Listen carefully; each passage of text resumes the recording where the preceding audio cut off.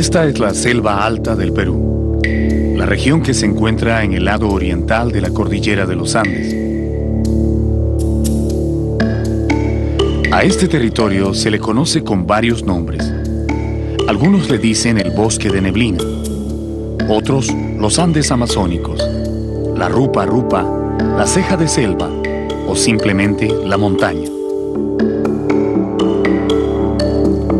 Aquí el relieve terrestre está formado por interminables montañas que tienen entre 1800 y 2500 metros de altitud, cubiertas de abundante y enmarañada vegetación y cortadas en hondos acantilados, al fondo de los cuales serpentean los ríos.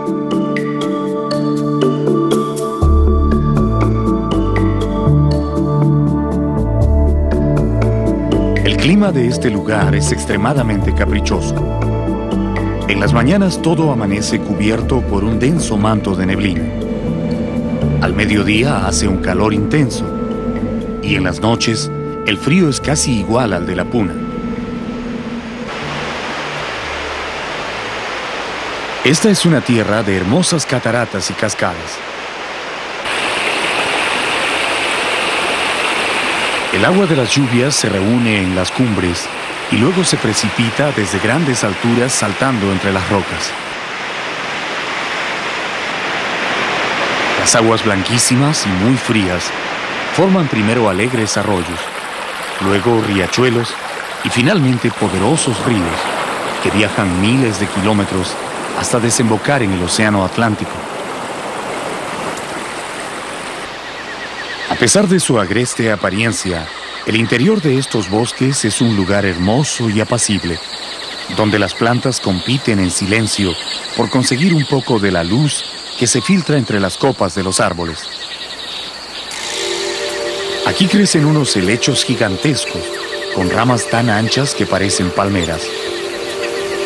Otros cuelgan suspendidos de los árboles, formando delicadas cortinas. Las bromelias se instalan sobre los troncos más altos para asegurarse algo de la luz, mientras que los líquenes cubren completamente las ramas de los árboles, dándoles un aspecto un tanto fantasmal.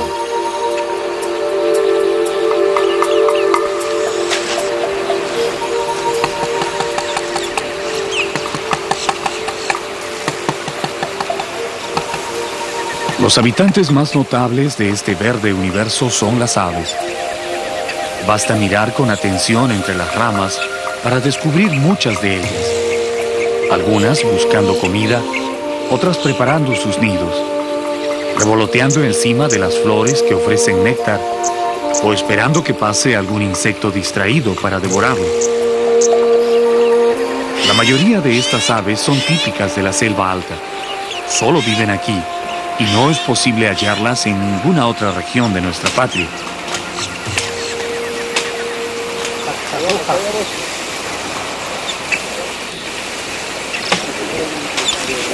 Caminar por el interior del bosque de neblina no es tarea fácil. Las ramas, hojas y raíces aéreas se entrecruzan, formando una barrera infranqueable que es necesario abrir a fuerza de machete. Una trocha apenas dura unos días antes que la selva vuelva a cubrirla con nuevas plantas. En el noveno día de nuestra expedición al Gran Pajatén, estamos avanzando por el interior del Parque Nacional del Río Abiseo, una zona protegida que está ubicada en el departamento de San Martín, dentro de lo que antiguamente fueron los dominios de la gran civilización de los chachapoyas. Entre todas las culturas que se desarrollaron en el territorio peruano antes de la época de los incas, los chachapoyas fueron uno de los pocos que lograron habitar la selva alta, venciendo las enormes dificultades que plantea esta geografía. Los restos de sus poblados y centros ceremoniales todavía existen, escondidos en estas montañas, pero encontrarlos es un verdadero desafío para cualquier visitante.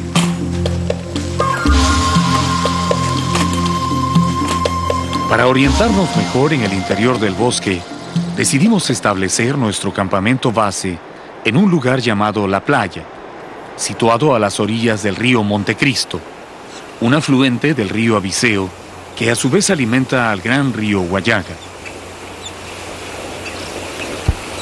Aquí vamos a permanecer por 20 días haciendo visitas cortas a las ruinas que forman el conjunto arqueológico. Previamente, los guías nos avisan que estas selvas no ofrecen absolutamente nada para comer. Por eso las provisiones que hemos traído deberán alcanzar no solo para nuestra estadía, sino también para el camino de regreso. Lo primero que uno descubre al recorrer los dominios de los antiguos chachapoyas es que ellos no construyeron sus pueblos junto a las orillas de los ríos, sino en las cumbres de las montañas. La mayoría de los restos arqueológicos se encuentran a una o dos horas de caminata arriba del cauce del río.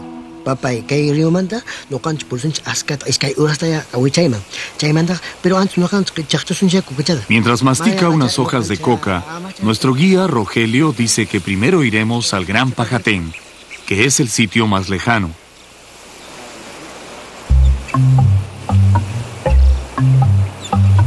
Los guardaparques nos llevan por en medio de la selva, siguiendo algún camino imaginario que solo ellos conocen. Luego toman por angostos desfiladeros que suben a lo más alto de los cerros. Y de rato en rato, también nos vemos obligados a trepar a los árboles para buscar alguna señal de las ruinas. La vegetación es tan tupida que aún los guías más expertos pierden el rumbo por momentos. Realmente da la impresión de que cada expedición que llega debe redescubrir el lugar.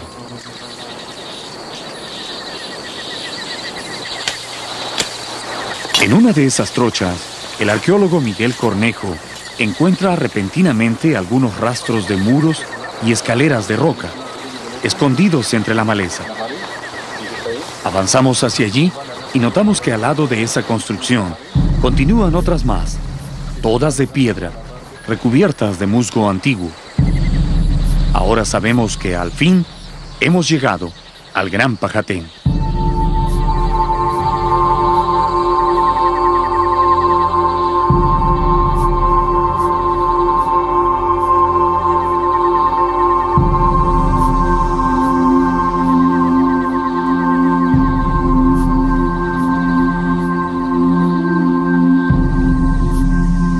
Que construyó estos edificios circulares existió hace más de 1500 años, en un tiempo en el que los incas ni siquiera se habían asomado a la historia.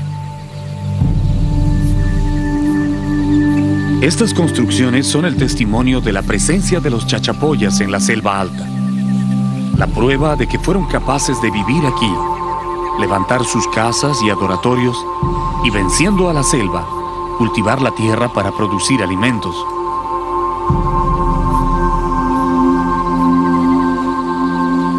La vieja ciudadela del Gran Pajatén está toda cubierta de musgo y líquenes, pero tiene una fuerza misteriosa que impresiona al visitante. En cada pared hay un símbolo grabado en roca, un diseño zoomorfo o una figura con rasgos humanos que parece observarnos mientras avanzamos por los angostos corredores que separan las construcciones.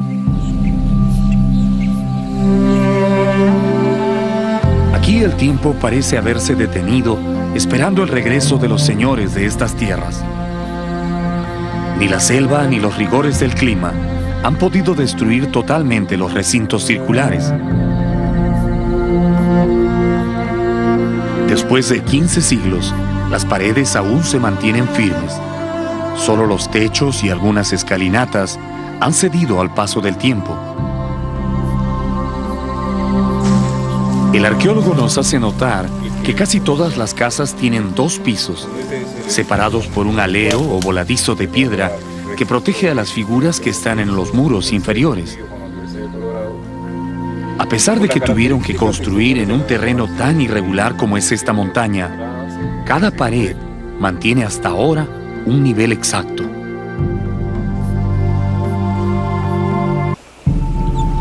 En la parte central de la ciudadela destaca un edificio de más de 4 metros de altura.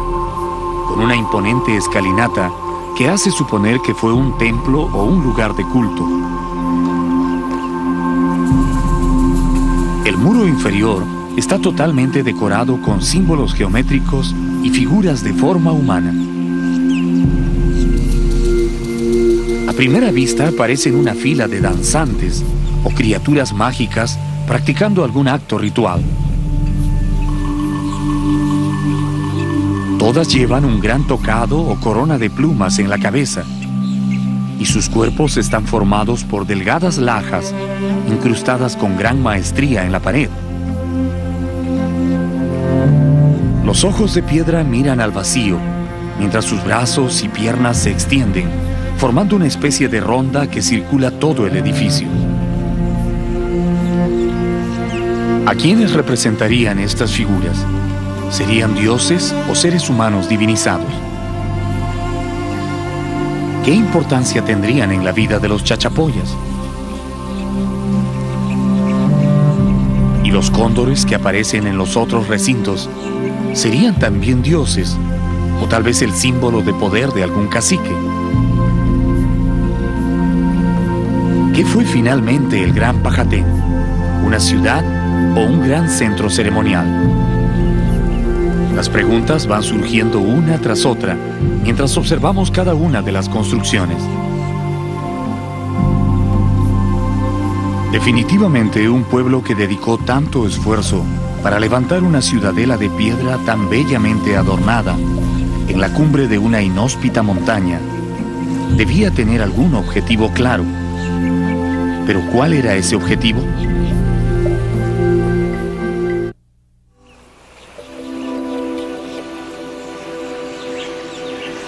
Desde los primeros días del descubrimiento de la ciudadela del Gran Pajatén, lo que más llamó la atención de los arqueólogos fue el audaz estilo arquitectónico utilizado por los antiguos chachapoyas.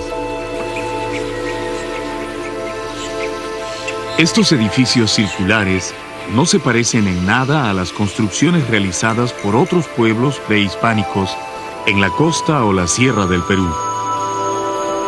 Ni siquiera los incas tuvieron esta habilidad para decorar los muros de sus residencias. Las piedras con que levantaron las paredes son bastante comunes. Las pudieron encontrar fácilmente en los flancos de las montañas, donde abundan las canteras de roca arenisca, que es relativamente fácil de trabajar. Pero el diseño de las figuras de las fachadas necesitaba otro tipo de piedra, más estilizada. Para eso recurrieron a la roca pizarra, comúnmente conocida como laja, muy resistente a la lluvia y los elementos. Ellos cortaron las lajas en forma de losetas y las fueron intercalando con gran maestría entre los muros para dar forma a sus misteriosos personajes.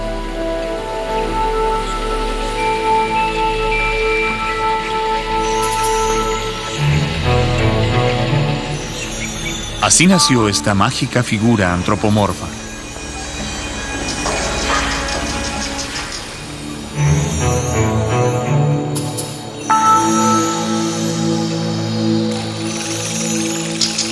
Y así también dieron vida a los cóndores que adornan varios de los muros.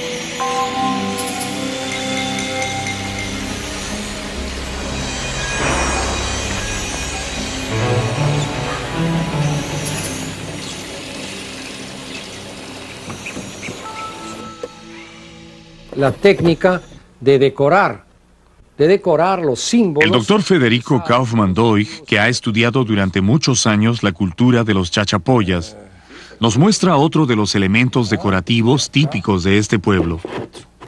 Los zigzag de piedra, que aparecen en casi todos los muros y que tenían un especial simbolismo. Esto no es simplemente un dibujo geométrico bonito, que les ha gustado, sino que tiene su simbología, su significado propio. Bien, la, contextura, el, vaivén de, esta figura hace pensar en, una serpiente, hace pensar también en alas, en, en aves, aves muy estilizadas en sucesión, en hilera. Ahora, eso no tiene nada de particular que haya sido aves y de serpientes. Y otra cosa más, la serpiente al mismo tiempo figura el río, las, acequias, las, las, este, las quebradas, las corrientes, de, agua. que se... Que se O sea que todo esto tiene que ver con culto al agua, con simbología que atrae al agua, con lo que llamamos en términos antropológicos la pluviomagia, la magia de hacer llover a través de ceremonias.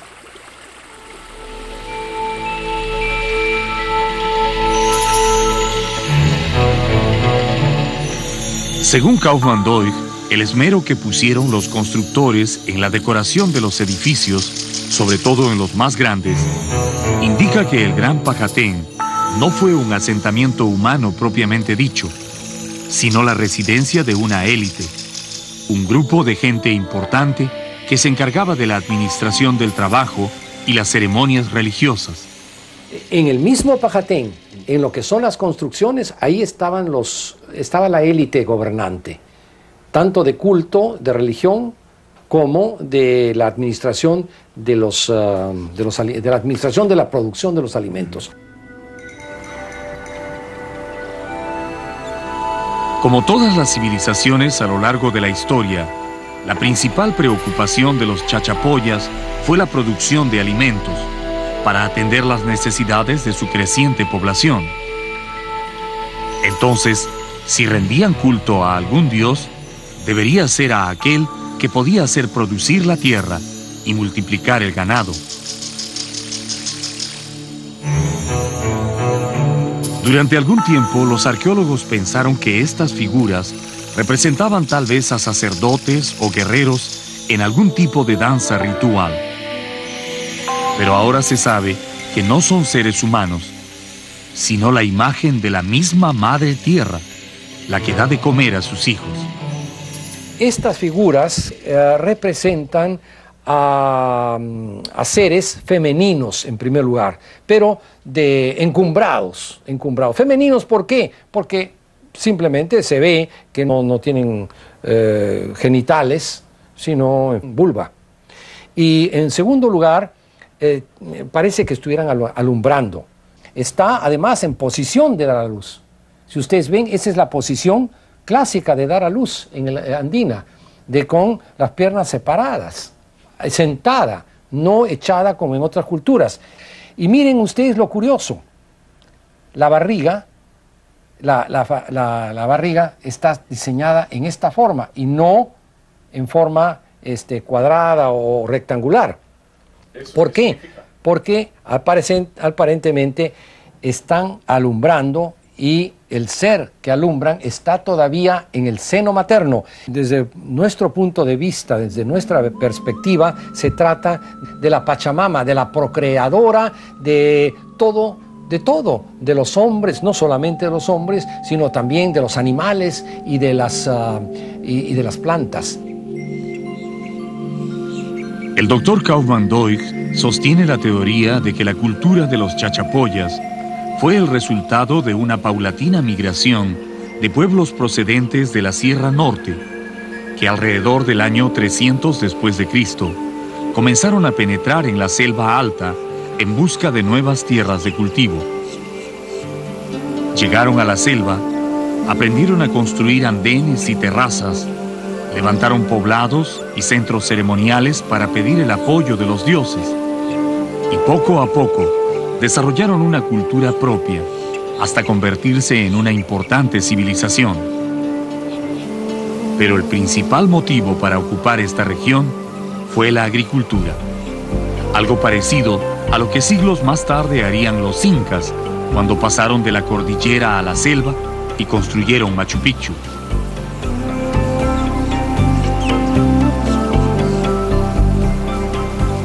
Fue el gran Pajatén el Machu Picchu de los chachapoyas? Efectivamente parece que esa es la definición más correcta. Y esa afirmación se vio fortalecida cuando pocos años después del descubrimiento del Pajatén, los arqueólogos hallaron en un acantilado cercano las tumbas de los señores que fueron los administradores y sacerdotes de esa ciudadela.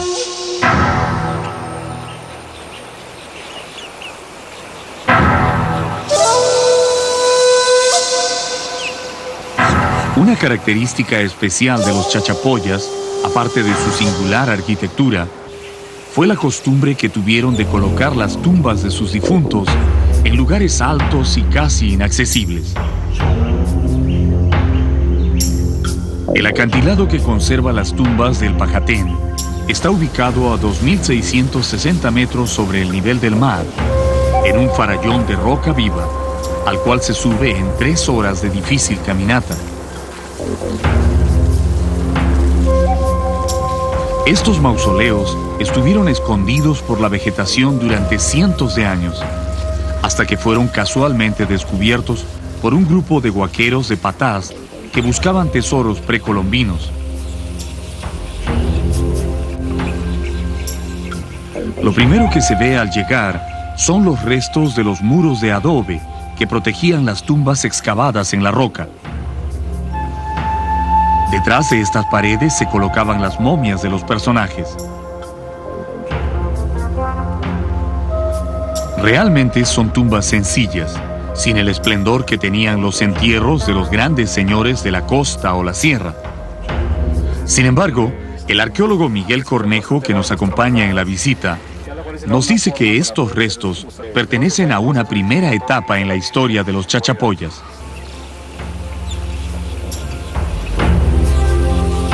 Cuando ellos progresaron y tuvieron un mejor nivel de vida en la selva alta, también pudieron construir mejores tumbas. Pero esas están más arriba.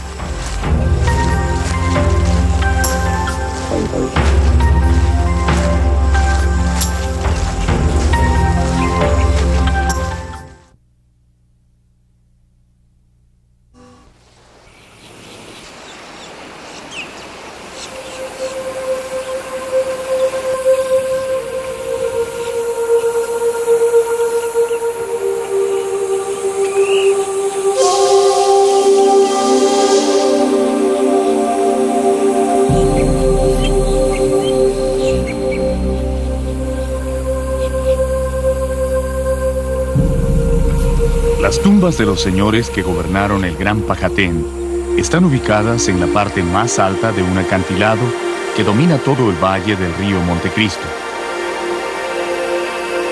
Desde arriba apenas se distingue la cinta plateada de este río, que hace años fue confundido con el río Pajatén. Realmente las ruinas deberían llamarse Gran Montecristo, porque están en este valle y no en el del Pajatén, que corre muy lejos detrás de las montañas.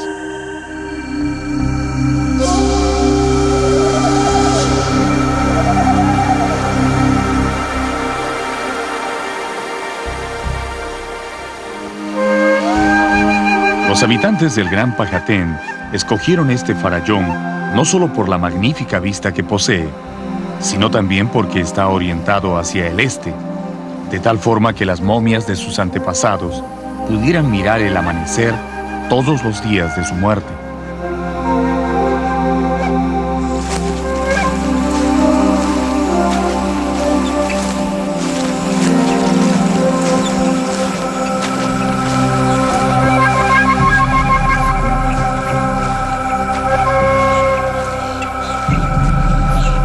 Desde el primer momento, uno puede darse cuenta de que estos mausoleos fueron construidos para sepultar a gente muy importante. La decoración y los colores de los muros tienen una elegancia especial, típica del estilo arquitectónico de los chachapoyas. Se trata de un conjunto de torreones circulares de 4 metros de alto, hechos de piedra y laja y hábilmente colocados en un refugio rocoso a más de 500 metros de altura sobre el terreno. Las construcciones están perfectamente adosadas a la pared de roca que ha sido excavada para formar una especie de techo que las protege de las lluvias. Las ventanas servían para introducir los fardos funerarios y también para dar aire al interior de las tumbas, evitando el deterioro de las momias.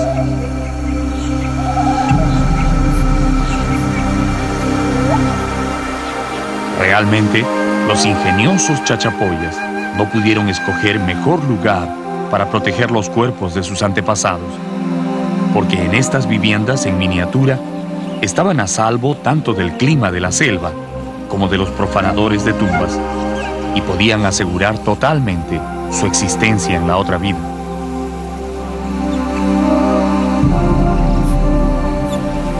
Las paredes de estas construcciones estuvieron recubiertas con una arcilla pastosa pintada con colores amarillo y rojo vermellón, que es característico de todos los sitios fúnebres de esta cultura.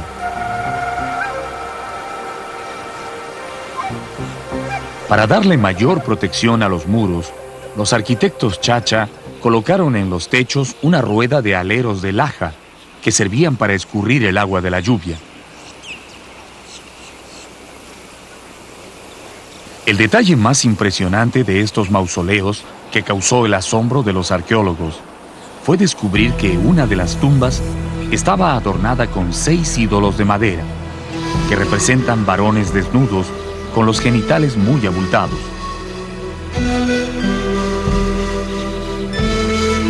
Nunca antes se había encontrado ídolos de madera en su sitio original.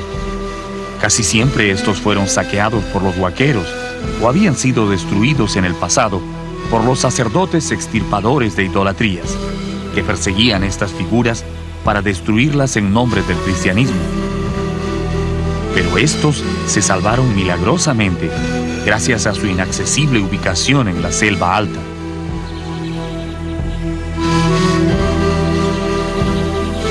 Las tallas alcanzan los 60 centímetros de alto.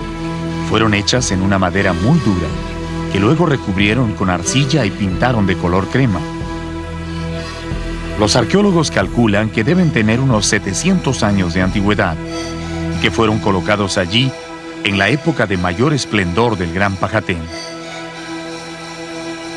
Probablemente el tamaño de sus sexos tiene que ver con los ritos de fertilidad y ofrendas a la tierra que practicaban los antiguos.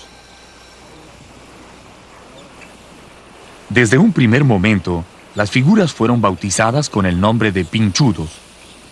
El doctor Kaufmann Doig, que fue el primer arqueólogo que llegó a este lugar, recuerda cómo se originó ese nombre.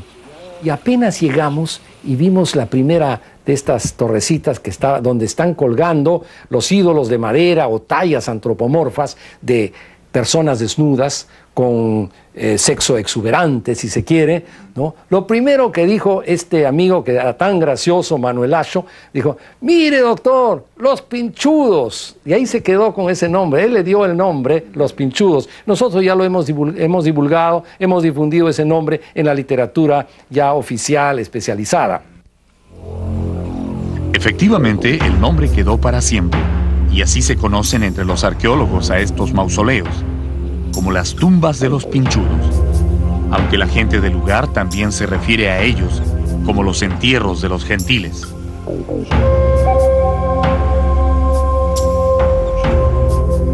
¿Cuánto tiempo y esfuerzo habrá costado a los antiguos chachapoyas construir estas cámaras funerarias?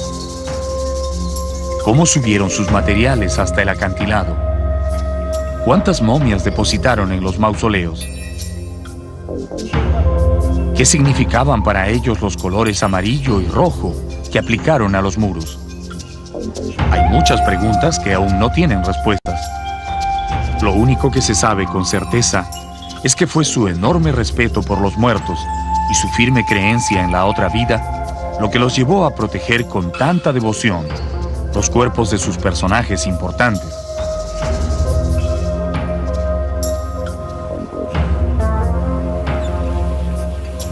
Otra cosa que llama la atención en las tumbas de los pinchudos es el buen estado de conservación de la pintura funeraria que utilizaron los chachapoyas.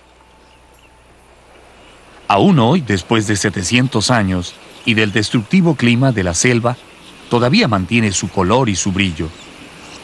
¿De qué estaría hecha?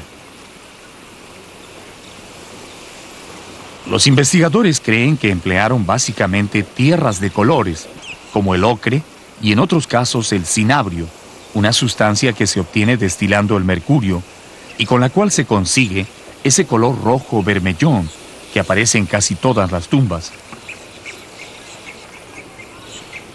Pero si no disponían de esos productos, también pudieron apelar a los ingredientes más sencillos que tenían a la mano en su territorio.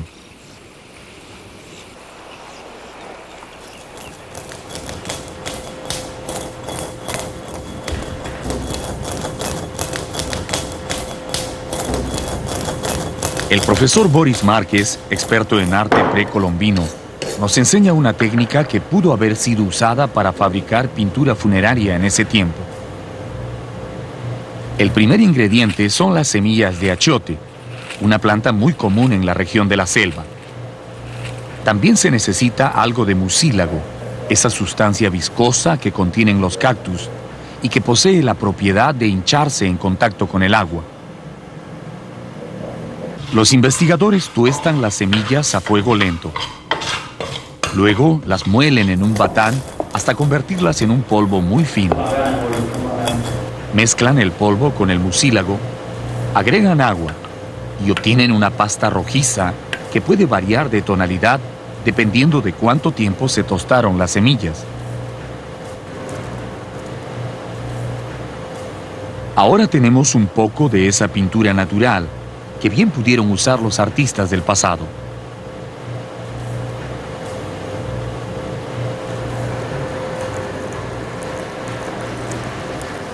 Boris la prueba trazando algunos de los diseños geométricos que fueron tan típicos del pueblo chacha y se muestra satisfecho con el resultado.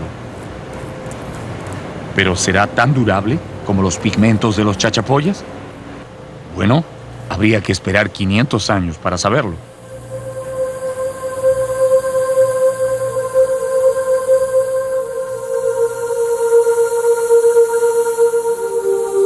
Pinchudos y el Gran Pajatén forman un solo conjunto arqueológico en las montañas de la Selva Alta. Uno fue el centro ceremonial y la residencia de los administradores de la producción agrícola y el otro el cementerio exclusivo de la clase gobernante. Para un pueblo que dedicó tanto esfuerzo a colonizar esta región y que creyó firmemente en la eternidad de la existencia, Debe ser una satisfacción saber que sus edificios y mausoleos todavía causan la admiración de la gente que ahora los observa desde las puertas de un nuevo milenio.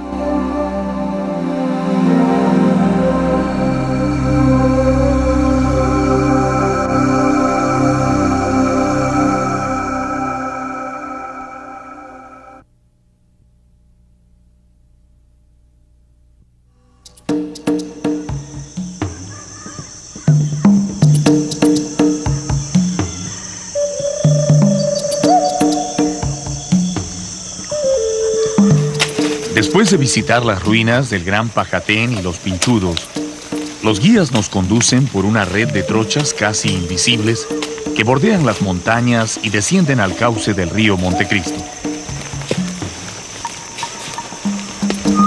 Si no tuviéramos a estos hombres, expertos conocedores de la zona, seguramente no podríamos caminar ni 100 metros sin perdernos en la selva. Ellos también llevan las provisiones que vamos consumiendo según avanzamos en nuestra exploración.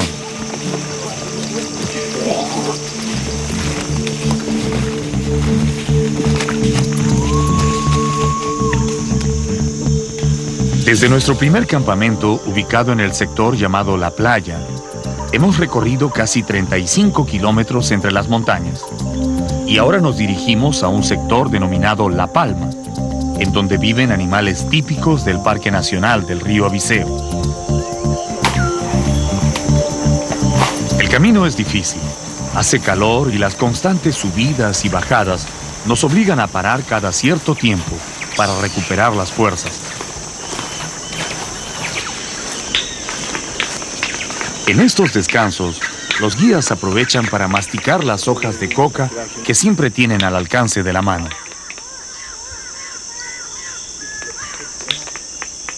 La mayoría de estos hombres vienen acompañándonos desde la Sierra de Patás.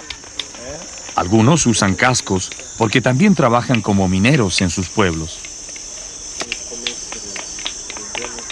La costumbre de masticar o chachar hojas de coca está muy difundida entre ellos. Realmente no emprenden ningún viaje si no llevan consigo sus bolsas con coca, más las pequeñas calabacitas que contienen la cal con la que acompañan el chachado.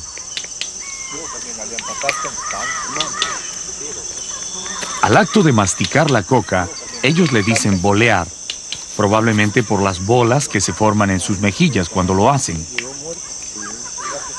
Durante el viaje, hemos aprendido que nuestros guías no miden las distancias en horas ni kilómetros, sino por cuántas boleadas se necesitan para llegar a un lugar.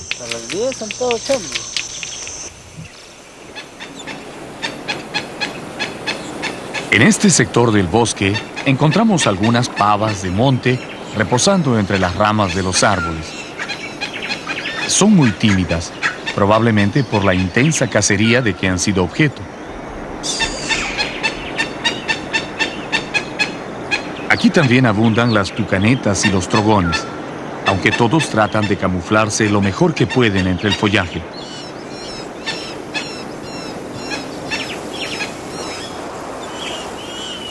Repentinamente vemos moverse un animal pequeño y oscuro en el suelo del bosque.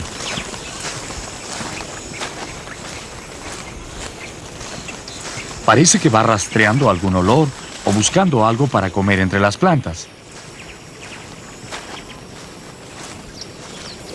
Se trata de un picuro, un roedor que solo vive en las montañas de la selva alta y al que también le dicen agutí.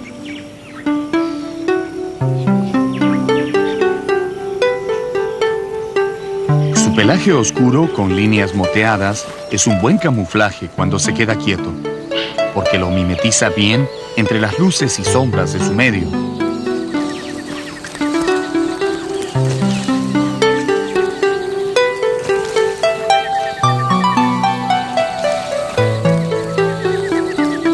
Los picuros son animales esencialmente nocturnos, pero a veces salen a buscar comida en el atardecer exponiéndose a ser capturados por los jaguares, que son sus peores enemigos.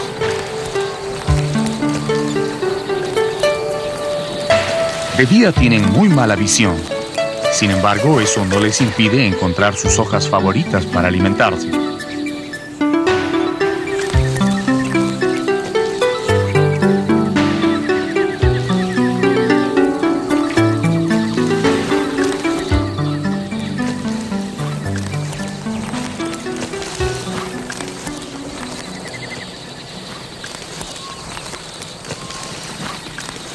Los largos bigotes del animal actúan como sensores muy especializados. Les indican los cambios de temperatura, la textura de las plantas y hasta los más ligeros cambios en el aire que puede provocar el movimiento de un enemigo. Casi siempre andan solos, olfateando el suelo del bosque en busca de los frutos caídos, que es lo que más les gusta.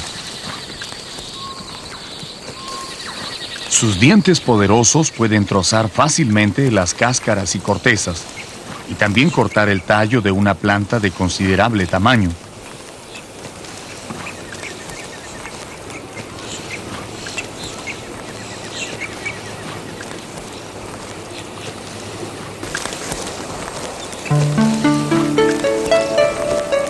De rato en rato se quedan muy quietos, como escuchando los sonidos del bosque antes de decidir en qué rumbo continuar.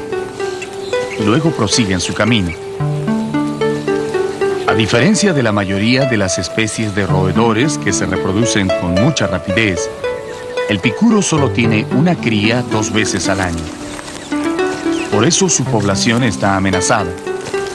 Felizmente, en el parque del río Abiseo, la caza está prohibida y este agutí puede caminar tranquilo. Aquí el hombre es su amigo. Solo debe cuidarse de los jaguares.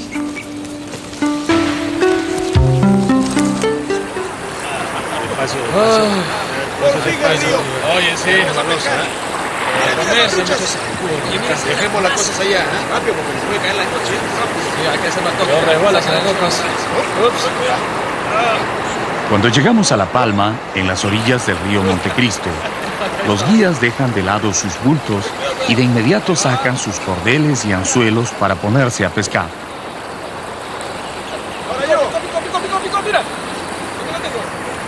Este es uno de los pocos sitios a lo largo del río donde se puede pescar unas truchas grandes y muy sabrosas.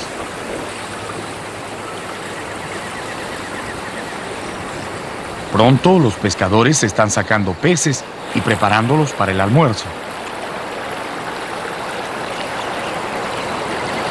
Mientras tanto, nuestros camarógrafos se han trepado en las copas de algunos árboles, tratando de camuflarse lo mejor posible para intentar obtener imágenes de una manada de los primates más preciados de este parque, los monos choros de cola amarilla.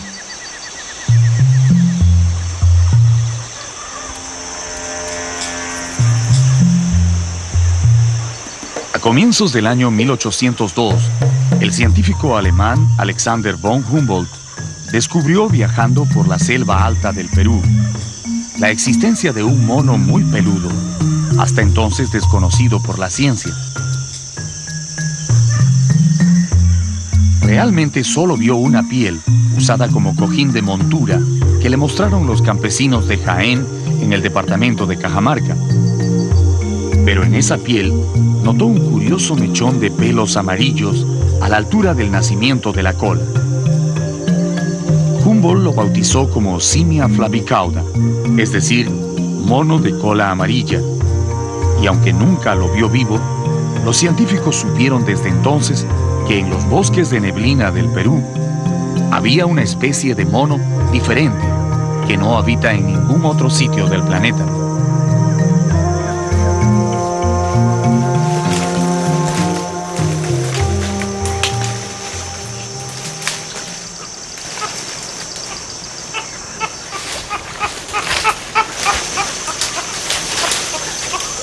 Mono choro de cola amarilla tiene una pelambre de color rojizo oscuro, muy densa, que cubre todo su cuerpo, menos la cara que es de color blanca.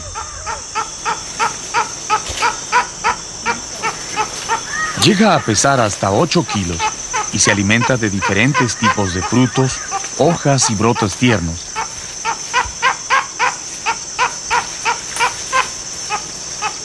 Lo más característico de su anatomía es precisamente ese mechón de pelos amarillos cerca de la cola, que lo diferencia de los monos choros comunes.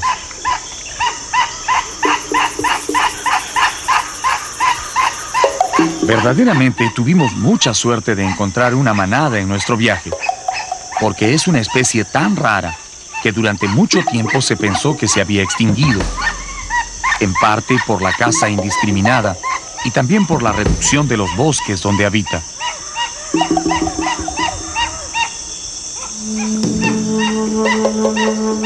Desde la época de Humboldt hasta mediados de 1900, los científicos siempre habían hablado de él, pero ninguno lo había visto con sus ojos.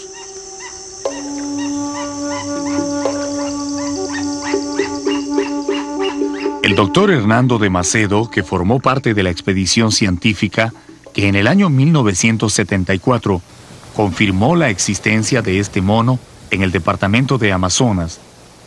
Cuenta que ellos tampoco lograron verlo en su hábitat natural. Solo consiguieron algunas pieles y una pequeña cría que les regaló un campesino. Pero eso fue suficiente para reafirmar que Humboldt estaba en lo cierto cuando habló de un mono endémico del Perú. Este es el único mamífero que mayor que existe únicamente en el Perú. Hasta ahora no tenemos datos de que se extienda hacia Ecuador u otras regiones. Y entonces le consideramos como el único mamífero exclusivo o endémico del Perú. Mientras exista el Parque del Aviceo y se respete la ley de no cazar en estas tierras, el mono choro tendrá una posibilidad de seguir viviendo. De no ser así, el único mono totalmente peruano podría volver a desaparecer, pero esta vez sí para siempre.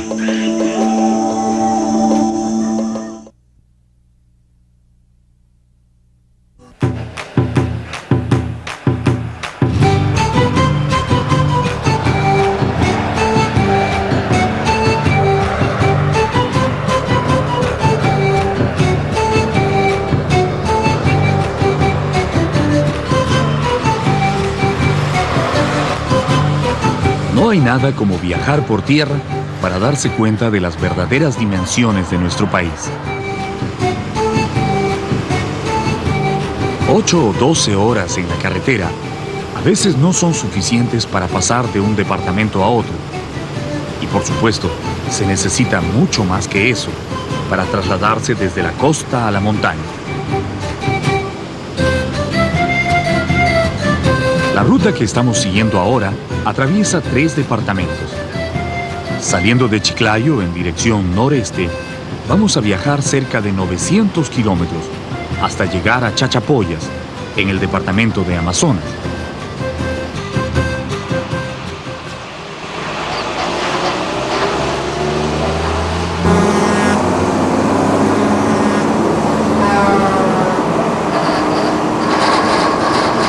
Cruzar el puente de Corral Quemado sobre el río Marañón, el paisaje costero comienza a cambiar y nuevamente nos reciben las montañas de la selva alta. Estamos reingresando al territorio de los antiguos chachapoyas, pero esta vez por el sector norte.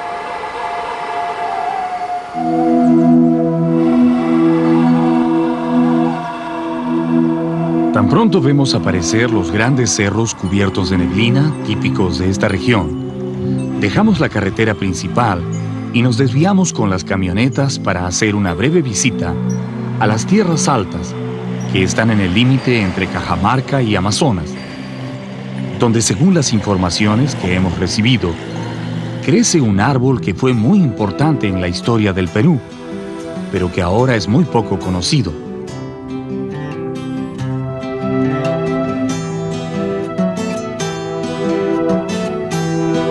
Muchos años, los cerros que vemos aquí estaban cubiertos de abundante vegetación.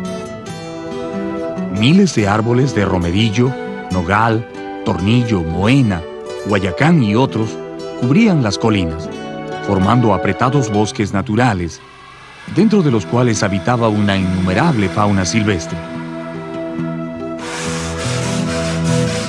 Necesidad de conseguir mayores tierras de cultivo para alimentar a la creciente población de las ciudades llevó a los campesinos de la zona a cortar poco a poco los bosques para convertirlos en chacras, hasta que finalmente todos los cerros quedaron pelados, con solo algunos retazos de bosques como recuerdo.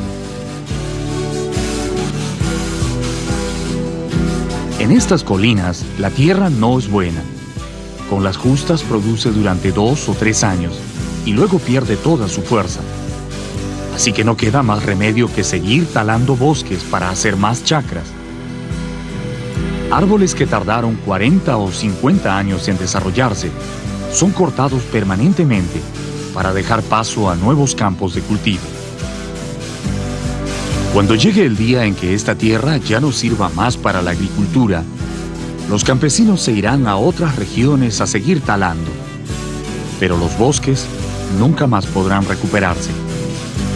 De esa forma se han perdido miles de hectáreas de selvas vírgenes en el Perú y junto con ellas árboles que eran muy valiosos para la humanidad. Al lado del romerillo, el nogal y la moena, hace mucho tiempo crecía en estos bosques un árbol muy alto, de hojas anchas, ramas elegantes y copa redondeada. Un árbol al que todos aprendimos a reconocer desde niños, porque lo vimos dibujado en el escudo nacional como el mayor símbolo vegetal de nuestra patria. ¿Lo recuerdan? Es el árbol de la quina, el árbol nacional del Perú. El árbol de la quina, al que los pobladores de la Sierra Norte también le dicen cascarilla, crece hasta los 15 metros de altura y a veces un poco más cuando está dentro del bosque.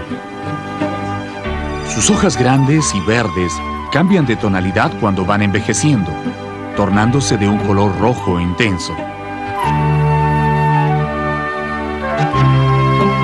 Este árbol produce unas flores diminutas y muy bellas, y unas semillas tan delicadas que si no encuentran buenas condiciones para germinar, mueren en muy corto tiempo. Pocos peruanos recuerdan la tremenda importancia que tuvo en el pasado el árbol de la quina. Cuando millones de personas morían infectadas por las fiebres de la malaria o el paludismo, que arrasaba pueblos enteros sin salvación posible, el Perú ofreció al mundo la corteza de este maravilloso árbol, de la cual los científicos obtuvieron la quinina, un alcaloide que se convirtió en la mejor medicina contra esa enfermedad. Imagínense, el Perú era eh, un país privilegiado porque teníamos una planta que curaba un mal mundial que acababa más que las batallas.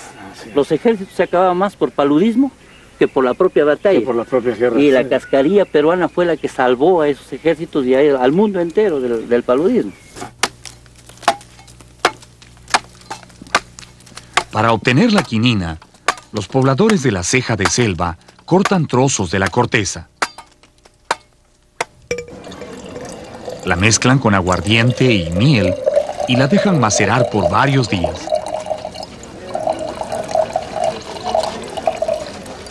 La corteza libera el alcaloide en el aguardiente, que se convierte en un brebaje sumamente efectivo contra el paludismo y contra cualquier tipo de fiebre. En las zonas rurales del Perú, la cascarilla es ampliamente conocida y se confía en ella para combatir las fiebres más que en la medicina moderna.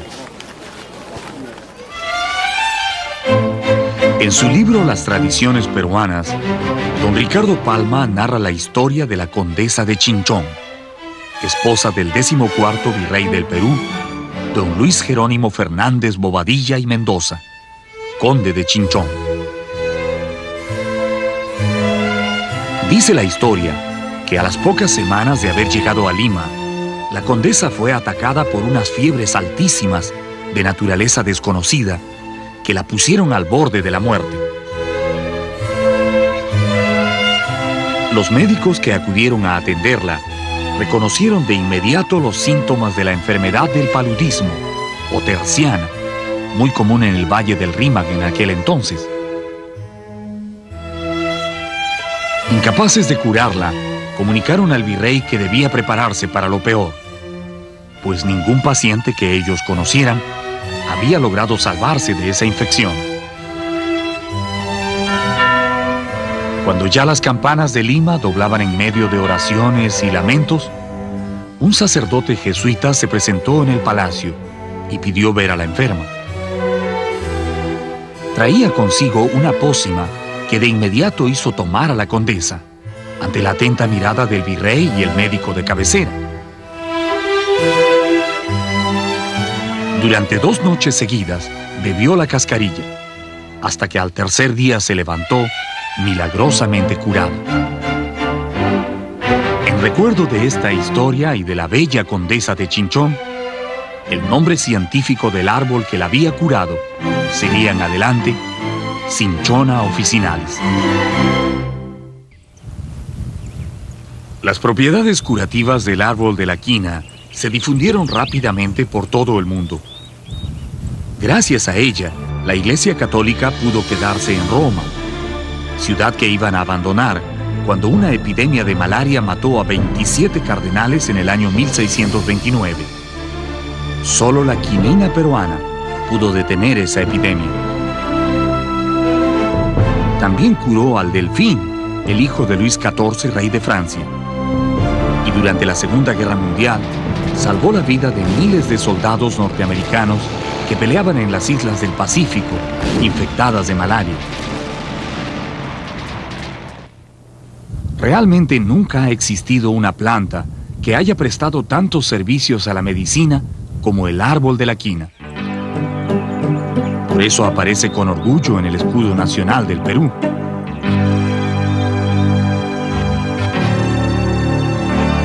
Lamentablemente, las miles de toneladas de corteza de quina que entregamos al mundo produjo la depredación de nuestros bosques y la dramática disminución de los árboles que una vez fueron la salvación de la humanidad. Eh, en la guerra mundial, en la Segunda Guerra Mundial, el Perú, que era un país beligerante en ese momento, que le había declarado la guerra al eje, eh, entregó como parte de su colaboración al esfuerzo militar grandes cantidades de corteza peruana y eso produjo la depredación de la quina. Por eso ahora no encontramos quina, porque todos los dimos eh, a favor de la libertad que significaba la lucha contra el eje. Cuando el naturalista Antonio Raimondi escribió sobre el árbol de la quina, explicando sus características y propiedades curativas, informó que se le podía encontrar en varios departamentos del Perú, entre los 1100 y 2200 metros de altura sobre el nivel del mar, especialmente aquí en la ceja de montaña. Pero eso fue hace más de 100 años. En la actualidad hay que tener mucha suerte para encontrar uno. Desde que los científicos lograron producir quinina artificial, la cascarilla fue cayendo en el olvido y el Estado descuidó la protección de los quinales, al punto que ahora, por la tala indiscriminada de bosques, nuestro árbol nacional está prácticamente en camino a la extinción. Esta es la cinchona oficinales, es el escudo, ¿no? Entonces es una especie que tiene la tendencia a desaparecer. Y de las 17 especies hay unas que ni siquiera se sabe nada. Yo estoy colectando de estas, siquiera esta estoy encontrando. Por ejemplo, el Esertiana, yo he viajado a Tabaconas, en San Ignacio, y, no, y ya no hay. Ya. La quinina sintética ha ayudado a controlar las epidemias de malaria en el mundo. Pero los científicos han descubierto que en algunos lugares están apareciendo formas de paludismo tan resistentes que solo se pueden combatir con la corteza peruana. Entonces es nuestra responsabilidad conservar los árboles para tenerlos a nuestro alcance cuando nosotros mismos o el resto de la humanidad vuelva a necesitarlos.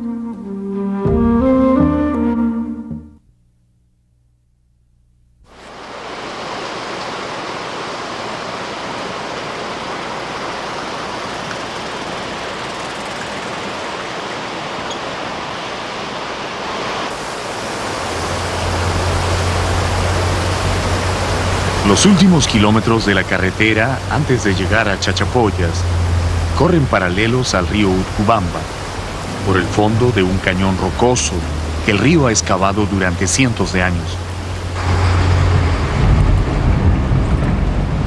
Pasando este cañón y remontando los cerros, aparece la ciudad de 20.000 habitantes, que es la capital del departamento de Amazonas.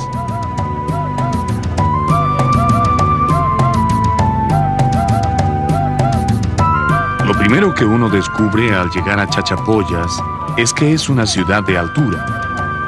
Aunque el nombre de Amazonas hace imaginar el calor y la exuberante vegetación de la selva, Chachapoyas está realmente en la ceja de montaña, a 2.334 metros sobre el nivel del mar, donde invariablemente hace frío la mayor parte del año.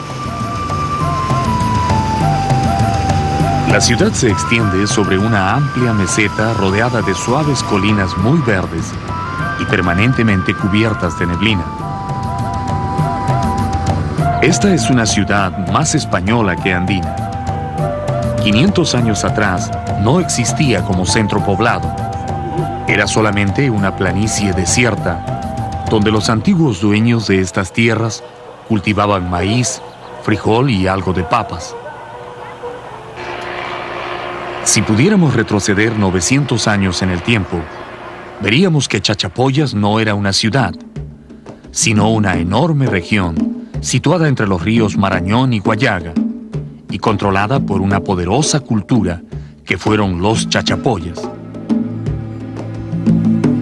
En ese tiempo no habían ciudades, sino yachtas, grandes provincias controladas cada una por un poderoso cacique pero totalmente independientes entre sí.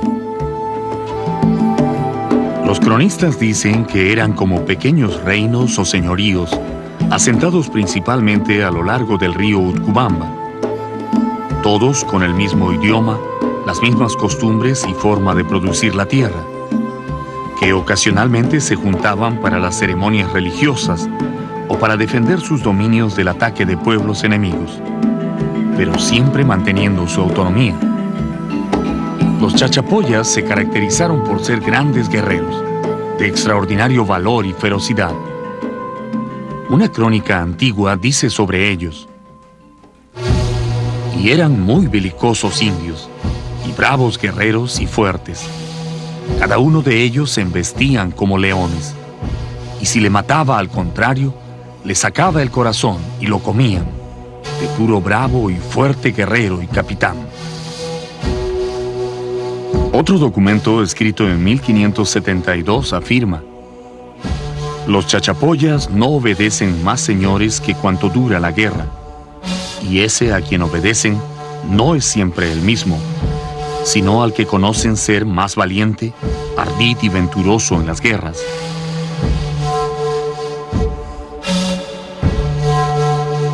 Entre todas las antiguas yachtas de los chachapoyas, hubo una que se puede considerar como la más grande e importante de su tiempo.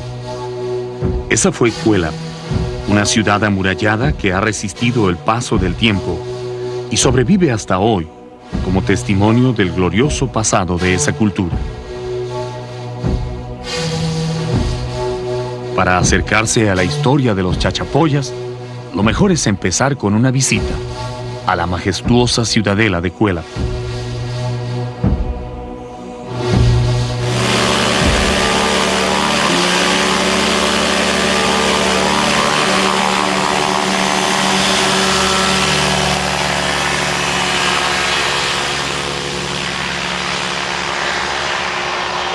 Cuelap está ubicada al sur de Chachapoyas, a solo dos horas y media en carro. Pero nosotros decidimos ir por el aire para conocer mejor el paisaje del valle del río Utcubamba. Volando a 800 metros de altura sobre el terreno, observamos la delgada línea de la carretera que deben recorrer los que van a Cuela por tierra. Y también interminables cerros totalmente cubiertos de campos de cultivo. Los campesinos aprovechan cada espacio de tierra para sembrar. Desde la base hasta la cumbre de las montañas, todos son chacras. Antiguamente eran bosques, inmensos bosques de la ceja de selva. Pero la agricultura cambió el paisaje y lo seguirá cambiando mientras la población continúe aumentando y se necesite producir más y más alimentos. A 2.300 metros de altura, los vientos de las montañas estremecen nuestro frágil motor Delta. Pero el piloto lo mantiene firme en la ruta, mientras buscamos con la vista la antiquísima ciudad que hemos venido a visitar. Si no fuera porque ya nos habían hablado sobre la increíble ubicación de Cuela en la cumbre de una montaña, tal vez nos hubiéramos pasado de largo. Pero allí la encontramos surgiendo repentinamente entre los cerros, como un nido de cóndores, a 3.000 metros de altura sobre el nivel del mar. Es una construcción alargada, orientada de sur a norte y semicubierta de vegetación, que se levanta en el borde de un inmenso precipicio. Desde arriba se puede distinguir claramente los enormes muros que rodean la ciudad dándole la apariencia de una fortaleza. Y también los torreones de vigilancia situados uno en cada extremo. ¿A quién se le pudo ocurrir construir un pueblo al borde de un peligrosísimo barranco y tan lejos del río que es la única fuente de agua? Solo a los chachapoyas. Y así fueron casi todas sus viajes. Mientras buscamos un sitio para aterrizar, pensamos en las razones que tendrían para rodearse de muros tan altos y sobre todo, cuánto tiempo y esfuerzo les habrá tomado construir una ciudad de piedra en lo alto de una montaña.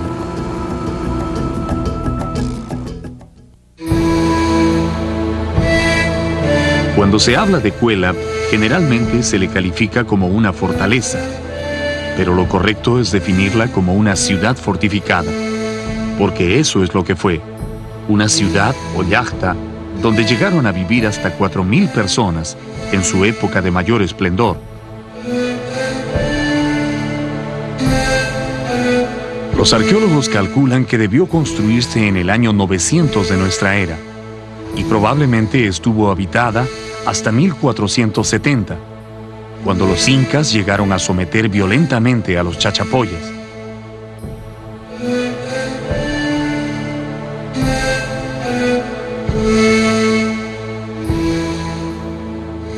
Las poderosas murallas tienen una extensión de 584 metros de largo. Están construidas con grandes bloques de piedra caliza, algunas de las cuales pesan casi 3 toneladas.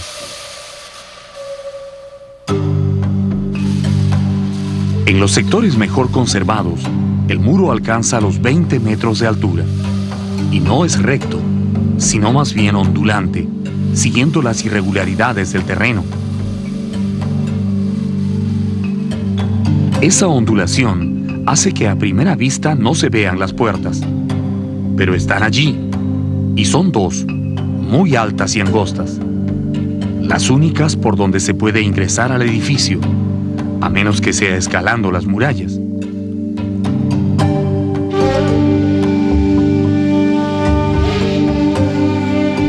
Huelab mira hacia el este, a la salida del sol. Desde su imponente altura, los habitantes de esta ciudad podían dominar todo el paisaje y seguramente ejercer un buen control sobre todo lo que sucedía en las tierras altas y bajas del extenso valle del río Utcubamba. Pero ¿cómo hacían para conseguir agua aquí arriba en la montaña? ¿Dónde enterraban a sus muertos? ¿Les sirvieron de algo estas murallas cuando llegaron los incas? Es necesario ingresar en la ciudad para buscar las respuestas a estas preguntas.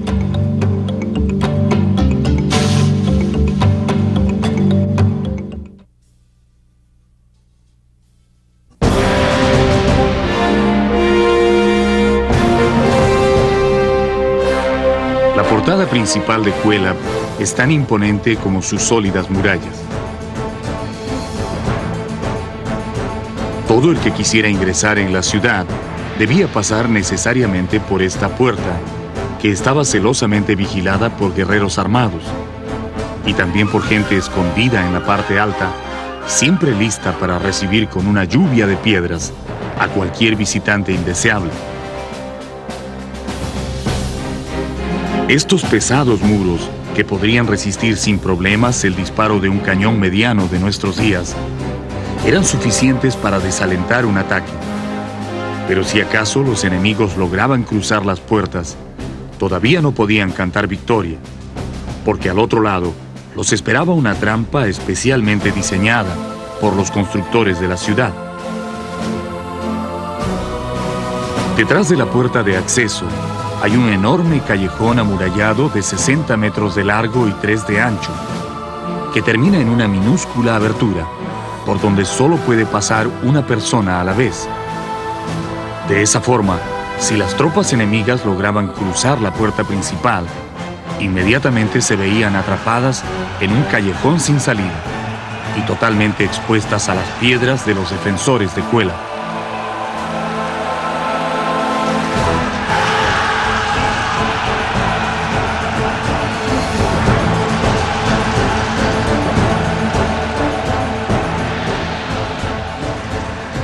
El interior de la ciudad conserva hasta hoy la fuerza espiritual de sus antiguos habitantes.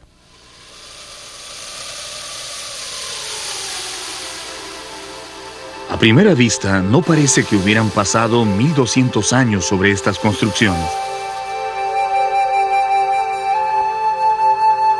Las viviendas, de forma circular, de las que aún quedan buena parte de los cimientos y los muros, todavía lucen algunos aleros y decorados intactos. Se nota que son casas que se construyeron con esmero, cuidando los detalles y la elegancia de la arquitectura. Las viviendas están ubicadas en terrazas superpuestas, siguiendo el relieve del terreno. Algunas son más grandes que otras, pero todas mantienen el mismo estilo circular. Los edificios públicos se diferencian de las casas comunes por su mayor cantidad de frisos y decorados, hechos principalmente con lajas incrustadas en los muros, que son típicos de la cultura chachapoyas. culto a la serpiente, al agua y al puma de las montañas se deja notar en las figuras geométricas que adornan los muros. ¿No son estos rombos los ojos estilizados de un felino? ¿Y estas líneas en zigzag no recuerdan acaso el cuerpo de una serpiente?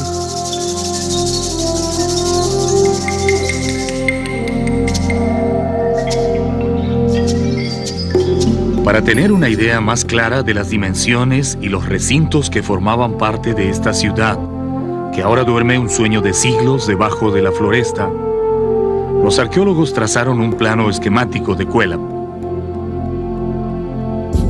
Aquí vemos la forma alargada de la yachta, que se extiende por 600 metros encima de la cresta de la montaña. Las dos puertas principales miran hacia el este, pero hay una más en el muro del oeste que da a un enorme barranco por donde se baja al río. Las posiciones defensivas más importantes son dos torreones de 7 metros de altura, situados uno en cada extremo.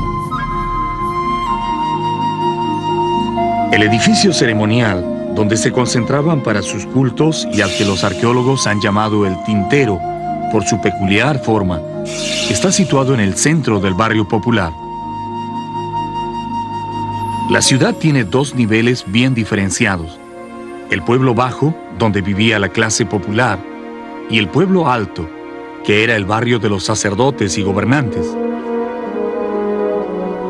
Todo el conjunto situado dentro de las murallas ocupa un área total de 6 hectáreas.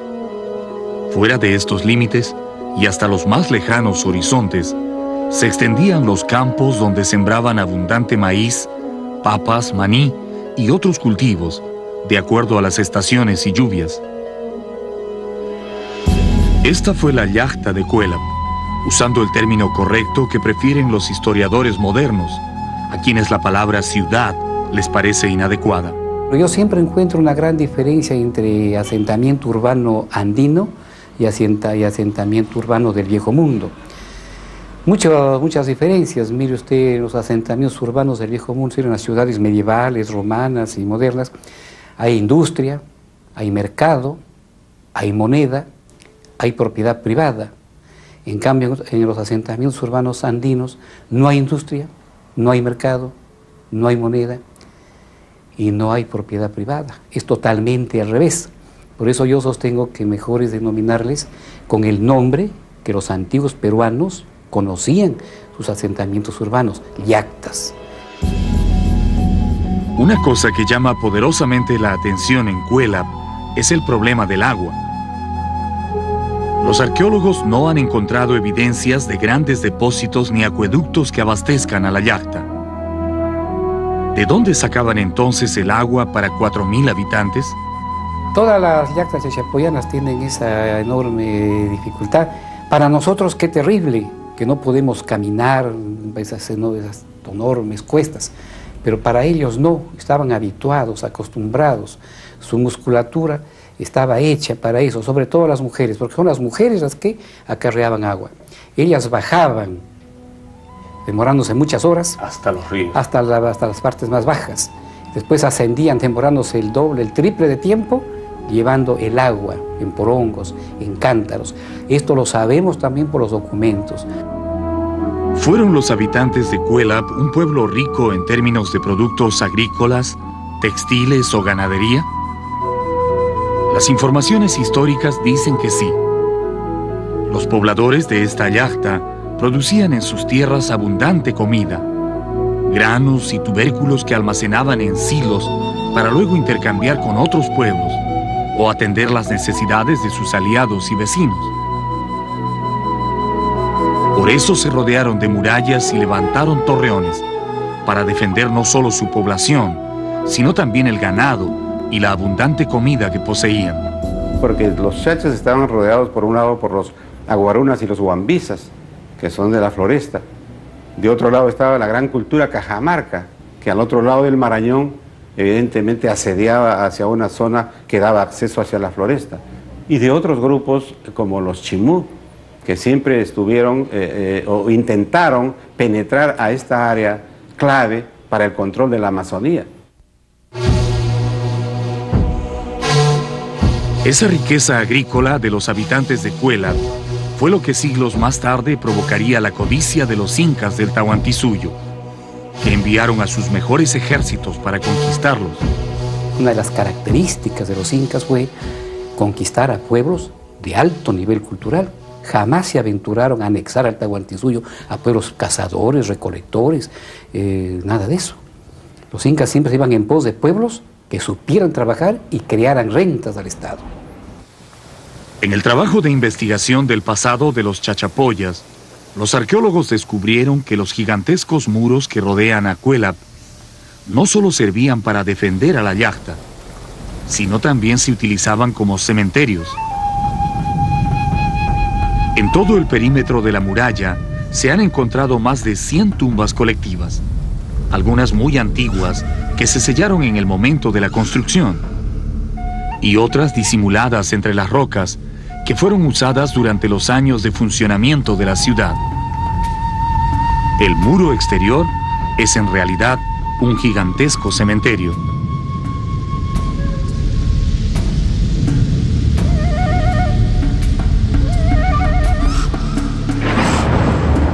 En este nivel, los arqueólogos encontraron evidencias de que los chachapoyas fueron, además de guerreros, excelentes cirujanos y trepanadores de cráneos. Es decir, podían reparar fracturas en los huesos de la cabeza. En sus investigaciones en Cuelap, el doctor Arturo Ruiz Estrada encontró numerosos cráneos exitosamente intervenidos por los cirujanos de Cuelap. Cuelap también, como ciudad, fue un gran centro de cirugía. Hubo una escuela de cirugía en Cuelap y naturalmente que en toda esta área que probaron los chachas. Eh, y esas técnicas, naturalmente, que pueden equipararse con aquellas que utilizaron los Paracas o los Cusco, en fin, otras sociedades del mundo andino. Entonces, esto es sorprendente porque en el Perú siempre se ha considerado que habían solamente unas pocas regiones de trepanadores. Cuelap fue la yachta más grande y la más desarrollada de la civilización de los chachapoyas. Su prestigio de ciudad próspera y densamente poblada llegó a ser conocido aún más allá de los dominios de los chachas. Pero un día, esa fama llegaría a los oídos de los incas y de su más famoso conquistador, el general Tupac Yupanqui, quien no se detendría hasta conquistarla.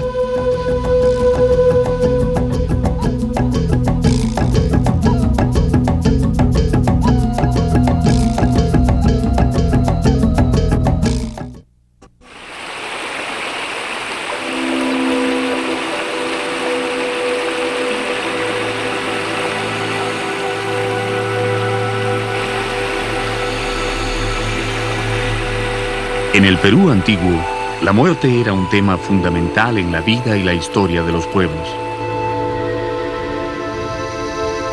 Para ellos, que creían firmemente en la perennidad de la existencia, la vida más allá de la muerte era mucho más importante que la vida en la tierra. Al morir, los hombres pasaban a formar parte de una sólida cadena espiritual que enlazaba a los vivos con la tierra y con los antepasados. Un pueblo sin antepasados simplemente no existía, porque no tenía nada que lo sujete a la tierra. Por eso era importante conservar el cuerpo de los difuntos, porque ellos eran el testimonio de su historia y de su paso sobre este mundo. Los antiguos chachapoyas tuvieron una especial dedicación por preservar los cuerpos de sus muertos, sobre todo de los caciques y jefes más notables, a quienes se les honraba con tumbas especialmente construidas en los sitios más alejados e inaccesibles de las montañas. Los acantilados y farallones de gran altura fueron los sitios favoritos para colocar esas tumbas. Hasta hoy resulta difícil comprender cómo hicieron para llevar sus momias a sitios tan altos y peligrosos, donde no existen caminos ni vegetación en la cual sujetarse. Al norte de la ciudad de Chachapoyas, a dos horas en carro, en un lugar llamado Caclic, hay un gran cerro rocoso que se levanta imponente sobre el valle del río Utcubamba. En la parte alta de este cerro se encuentra un conjunto de tumbas muy hermosas que datan de la época del apogeo de la cultura de los chachapoyas. Desde abajo es imposible distinguir algo. Solo se notan las rocas desnudas que parecen totalmente inalcanzables. Exactamente el tipo de sitio que escogían los chachas para ocultar sus mausoleos.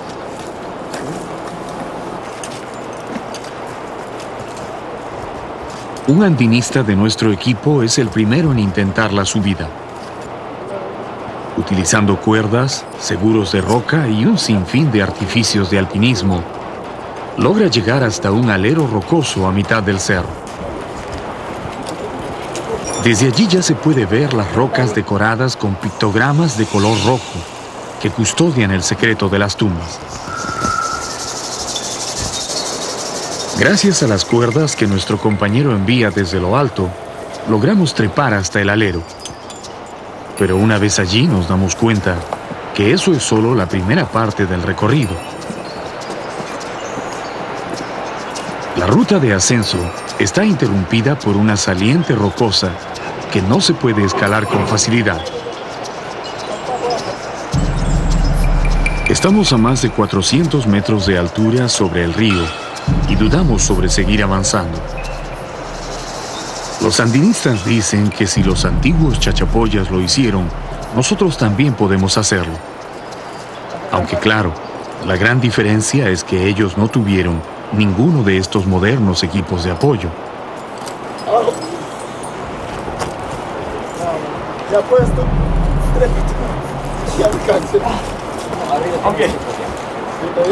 ¿Hay otro? Sí, sí.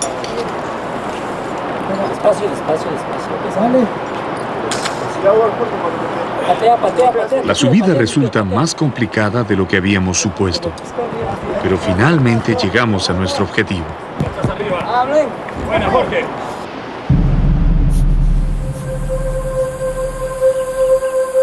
Estas tumbas, hechas de barro, conservan los restos de personajes que existieron hace muchos cientos de años y que fueron muy importantes para los antiguos chachapoyas. Realmente, más que tumbas, lo que vemos aquí son sarcófagos, porque están colocados encima y no debajo del suelo, y también porque tienen una forma humana. Parecen unos hombres gordos y apacibles, sentados en silencio eterno, mirando para siempre hacia el este, a la salida del sol. En sus vientres abultados y pintados de rojo estaban escondidas las momias, de las que ahora solo quedan huesos y algunos restos de cerámica.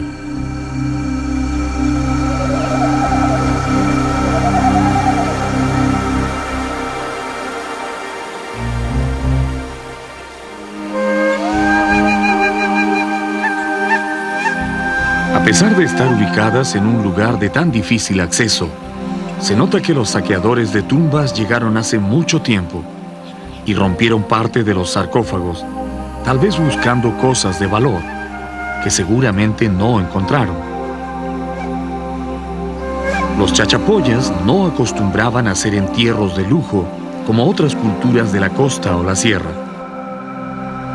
Sus tumbas casi nunca tienen objetos de oro o plata eran más bien sencillas y su único objetivo era preservar los cuerpos de los antepasados.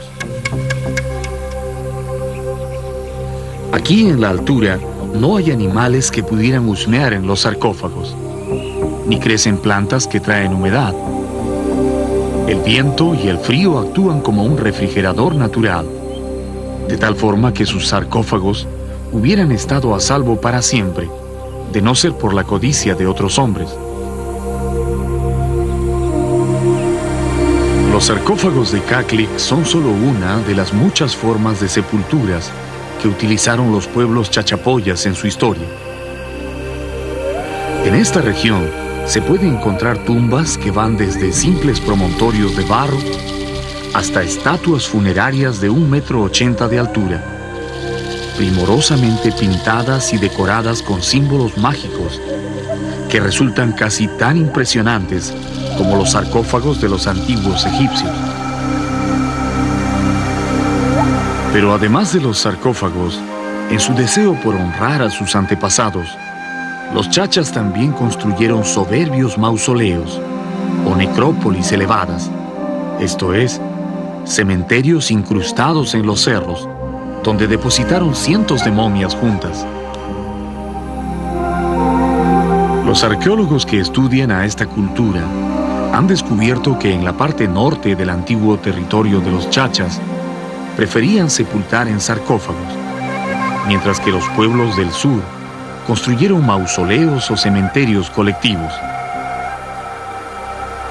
Tanto los sarcófagos gigantes como las necrópolis elevadas todavía se conservan en los innumerables acantilados del departamento de Amazonas.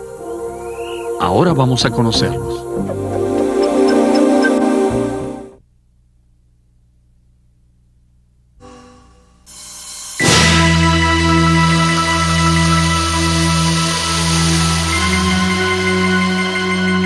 Cuando uno piensa en un cementerio, normalmente se imagina un lugar tranquilo y fácil de llegar, donde los cuerpos de los antepasados descansan para siempre.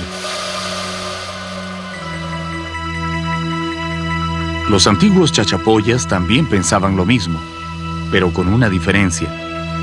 Para ellos, un cementerio jamás debía ser fácil de visitar, y cuanto más inaccesible fuera, pensaban que más tranquilidad tendrían los muertos.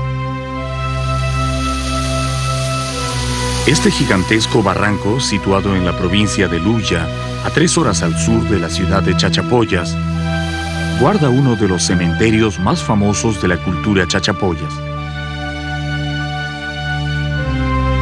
Los barrancos o peñas de gran altura tenían un carácter sagrado para los antiguos. Ellos creían que habían nacido de los acantilados y cerros altos. Por eso los escogían para depositar a sus difuntos en grutas o cuevas naturales, como una forma de asegurar el retorno al seno de donde habían salido sus padres en los primeros tiempos. A este lugar se le conoce con el nombre de Rebash, que al parecer fue también la denominación de una antiquísima población de la cultura chachapoyas. Aquí, aprovechando cada centímetro de estas grutas y a veces excavando la pared de roca para agrandarlas, los señores de Rebas construyeron varias unidades de mausoleos que se extienden uno al lado del otro, prácticamente colgando del barranco, a 200 metros de altura sobre el terreno. Lo primero que llama la atención de este cementerio, aparte de su espectacular ubicación, es el diseño de las tumbas, que más que tumbas parecen casas o mansiones funerarias, de dos pisos de alto, con puertas, ventanas y techos a dos aguas.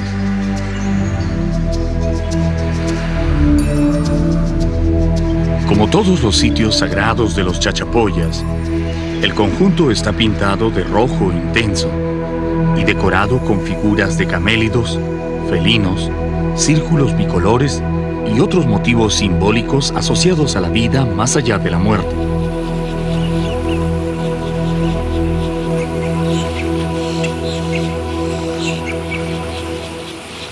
Cada una de estas casitas guardaba entre 100 o 150 momias acompañadas de todos sus enseres para la vida en ultratumba.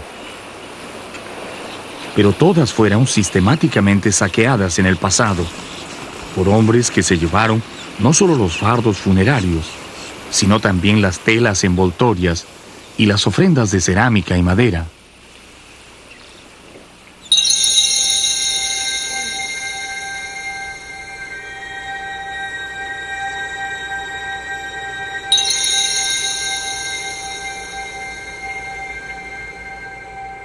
Los muros y techos de estas mansiones fueron construidos con piedras, barro y vigas de madera, que ha resistido muy bien el paso del tiempo.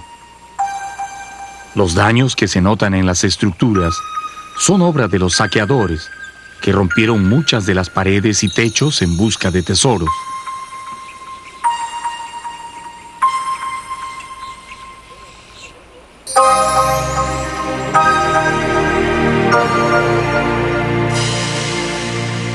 Todas las tumbas tienen en la parte alta una hilera de pequeñas ventanas que permitían el paso del aire para ventilar los recintos y evitar el deterioro de las momias. También disponían de numerosas hornacinas en forma de T y otras muy extrañas, parecidas a cruces, donde los familiares podían dejar sus ofrendas cuando llegaban a visitar a sus muertos.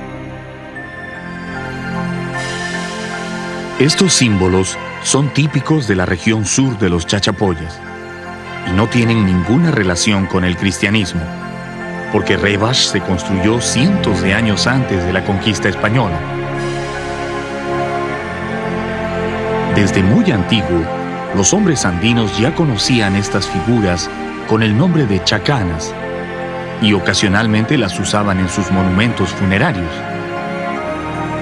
Cuando llegaron los españoles, permitieron que los indios utilicen las chacanas en la construcción de las primeras iglesias, porque vieron que eran muy parecidas a las cruces de la fe cristiana.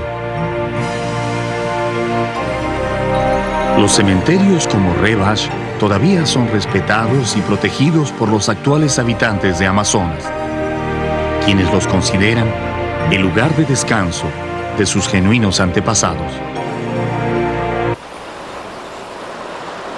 Después de masticar las hojas sagradas y pagar a la tierra con coca y aguardiente, recién podemos asomarnos a mirar el impresionante acantilado donde reposan desde hace más de mil años los sarcófagos de los más grandes caciques de la historia de los chachapoyas.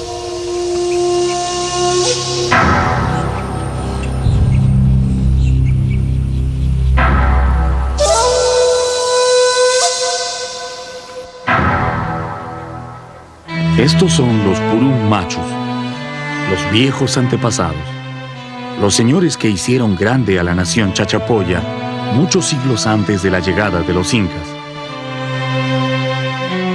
Su nombre no solo significa antepasados, sino también padres y caciques eternos.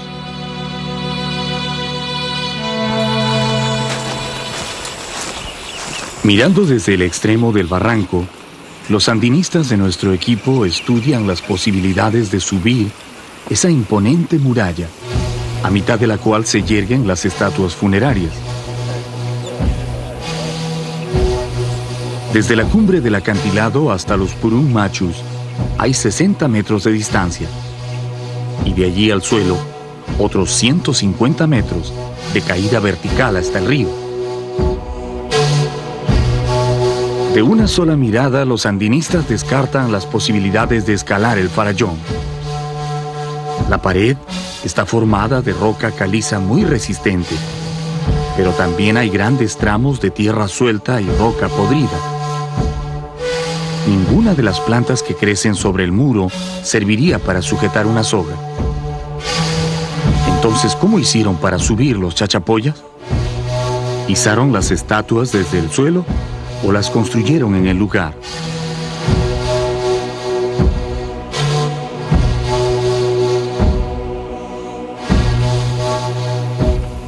Los pobladores de San Miguel, que ya comienzan a reunirse para ver nuestro trabajo, nos han contado que este barranco se llama Carajía y que cada vez que alguien se propone subirlo, sucede algo que lo impide. ¿Será que los machos no desean ser molestados? No lo sabemos. Pero cuando los sandinistas empiezan a preparar sus cuerdas, una suave llovizna comienza a caer sobre Carají.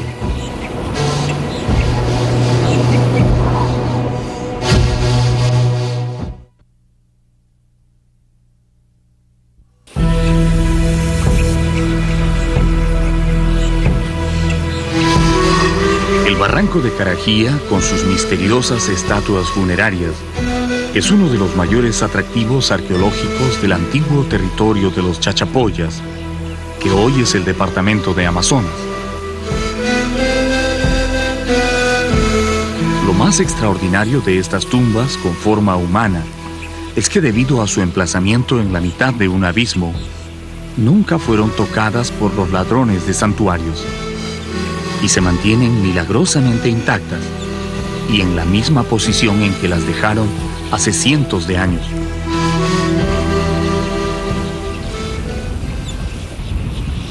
Llegar hasta ellas es todo un desafío que es necesario enfrentar con la mayor precaución, no solo por el peligro que encierra el barranco, sino también por el cuidado que se debe tener para no dañar estas esculturas que son un valioso patrimonio de la humanidad.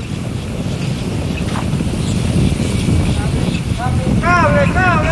¡Dos metros, dos metros! ¡Poco más, poco más!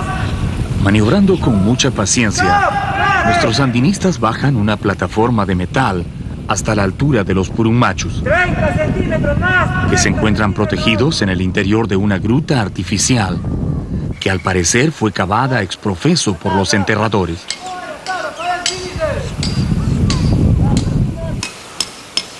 El descenso es lento y muy peligroso. Cualquier caída desde aquí es una muerte segura contra las rocas del fondo.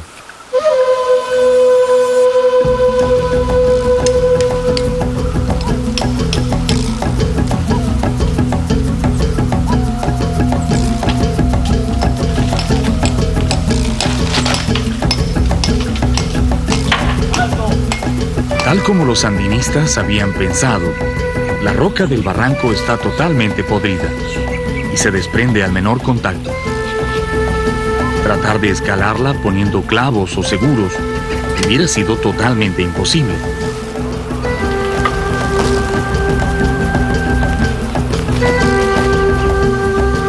Cuando la plataforma ya está en posición, nos descolgamos uno por uno, tomando todas las precauciones y confiando en que el pago que hicimos a la tierra al comenzar el día haya sido del agrado de estos señores, que descansan erguidos e impasibles en su privilegiado mirador.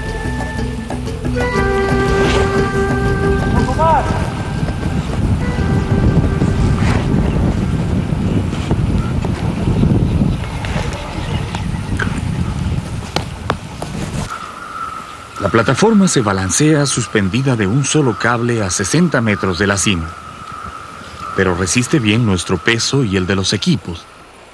Así que comenzamos a filmar, aprovechando que la lluvia se ha detenido momentáneamente.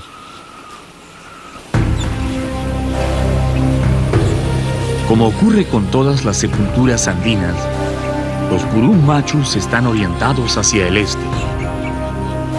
Los enterradores quisieron que durante toda su muerte pudieran disfrutar del magnífico paisaje de este valle y también de la salida del sol por encima de las montañas que alguna vez fueron sus dominios.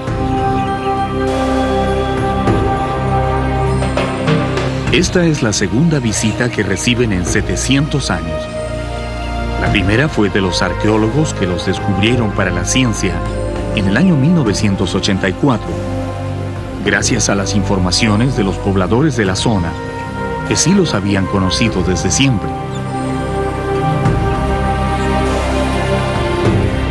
Se sabe que originariamente las estatuas fueron ocho, pero una se cayó al abismo durante el terrible terremoto que azotó la región de Amazonas en el año 1928.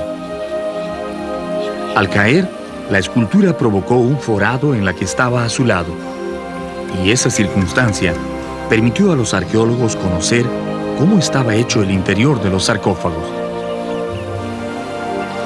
Tienen que haber sido hombres muy hábiles los que subieron hasta aquí a construir estos monumentos, porque en el breve espacio que hay entre la cornisa y el vacío, levantaron con singular maestría las impresionantes cápsulas funerarias de casi dos metros de altura, dentro de las cuales colocaron los cuerpos momificados de sus jefes.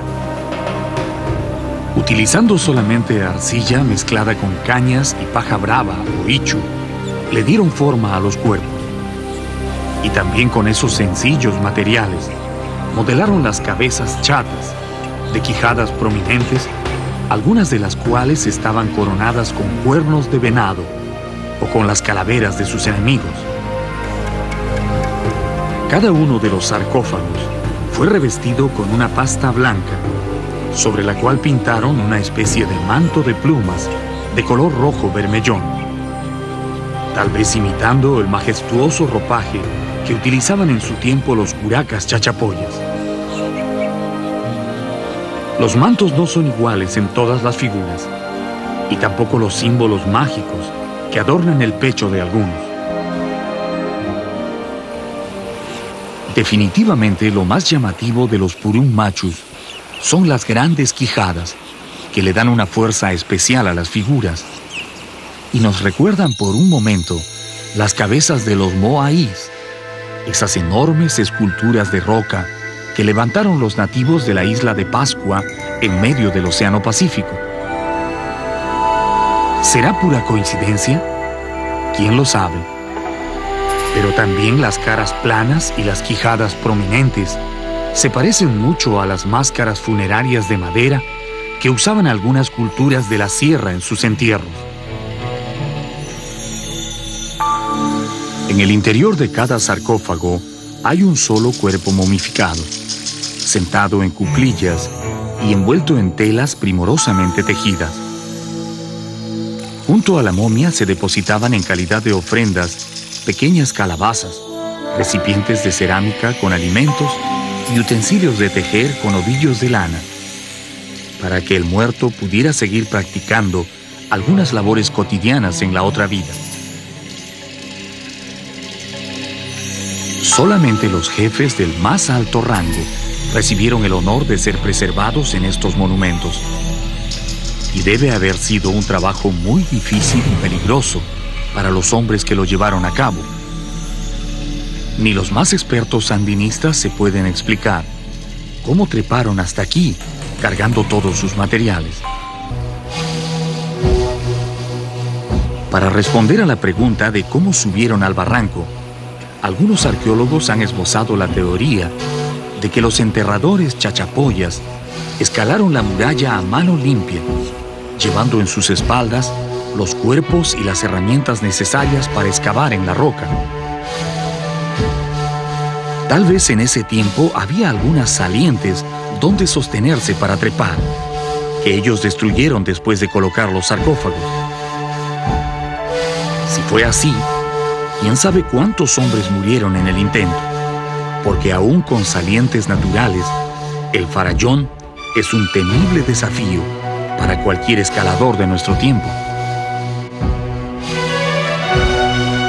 Lo que sí es totalmente seguro es que ellos no llevaron los sarcófagos listos, sino que los construyeron en el lugar. Detrás de las estatuas hay una cueva de regular tamaño que se nota fue excavada a propósito, sin duda para darles espacio para trabajar y también para sacar la arcilla y las pequeñas piedras con las que armaron las estructuras. Gracias a eso, se ahorraron de llevar el peso de la tierra. Pero de todas formas, tuvieron que subir las cañas, la paja brava, el agua para la mezcla, las pinturas y por supuesto los cuerpos ya momificados. Un enorme trabajo que solo podía hacerse por temor o por un profundo respeto a los hombres que fueron sus gobernantes.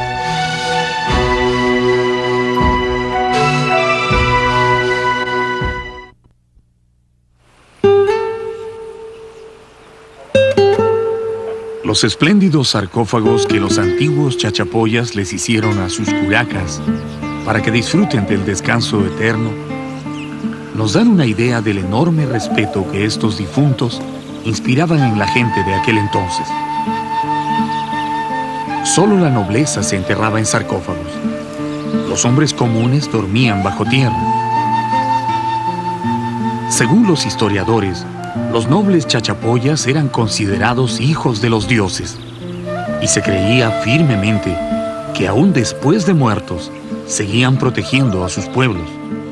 Así como los incas eran de origen divino, del sol, de la luna, también en las, en las etnias regionales, sus noblezas, sus curacas, eran de origen divino. Tenían que conservar sus cadáveres, porque los cadáveres eran una especie de divinidades protectoras que guardan el porvenir de la etnia. La etnia se preocupa muchísimo por conservar los cadáveres de, de sus jefes, de sus reyes, de sus fundadores, para lograr así la continuidad étnica. Este es un típico sarcófago de chachapoyas. Se trata de una de las dos formas de dar sepultura a ilustres difuntos. Al lado de una réplica en tamaño natural de un purumachu, el doctor Federico Kaufmann Doig nos hace notar algunos detalles especialmente interesantes de estos sarcófagos.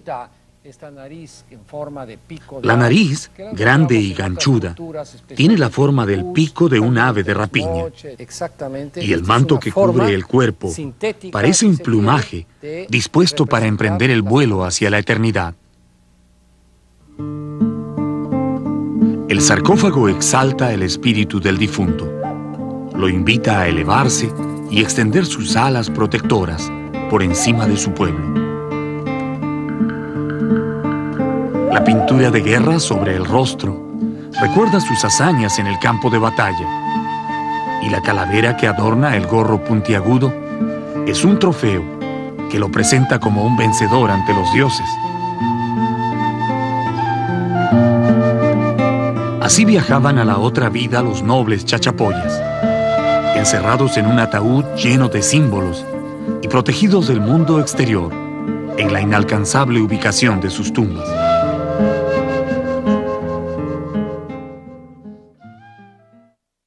¿Qué hubiera pasado si uno de estos sarcófagos será alcanzado y destruido por manos extrañas?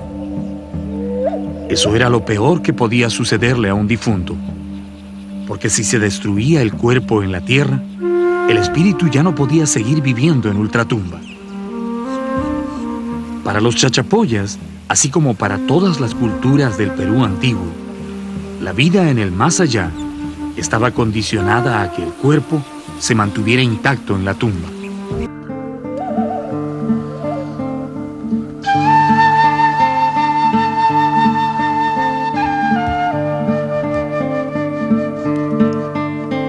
Ha pasado casi un milenio desde los días en que estos señores fueron sepultados por su pueblo en el barranco de Carajía. Los sarcófagos han desafiado al tiempo y la naturaleza conservando sus cuerpos a través de los siglos, tal como fue el deseo de su gente. Al mirarlos nos preguntamos, ¿el honor que recibieron habrá sido solo por su condición de nobles o también porque fueron buenos gobernantes? Necesariamente tenían que ser buenos gobernantes para que el pueblo los deificara, los enterrase adecuadamente y los conservase.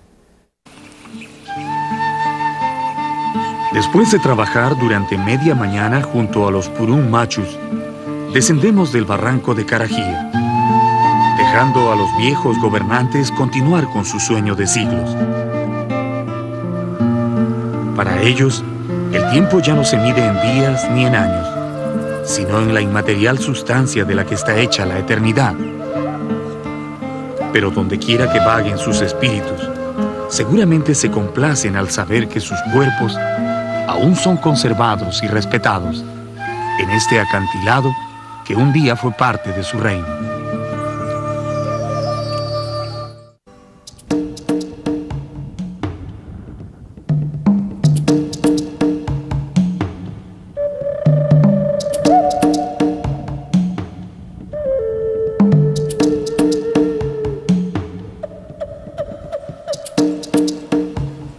Interior del departamento de Amazonas existen todavía muchas tierras totalmente inexploradas y vírgenes que no aparecen en los mapas y que ni siquiera tienen un nombre definido.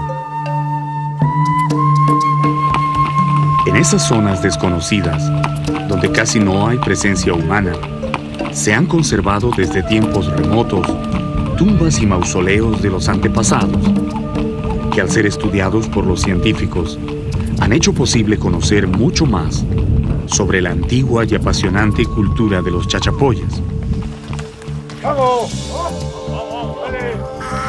Saliendo de la Imebamba, un pueblo situado al sur del departamento, estamos iniciando un viaje hacia las montañas en busca de un pequeño lago donde no hace mucho tiempo se descubrió un mausoleo muy grande, con más de 200 momias chachapoyas en perfecto estado de conservación.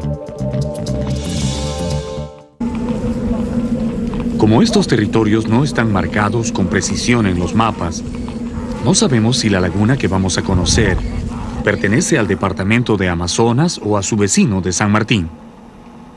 Pero cualquiera que sea su ubicación, sin lugar a dudas, es uno de los espejos de agua más hermosos que hay en nuestro país.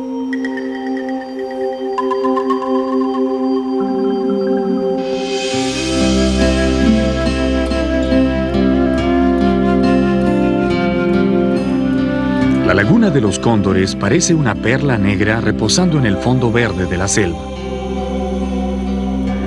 Sus aguas oscuras y silenciosas rodeadas por montañas imponentes, transmiten una gran tranquilidad al espíritu.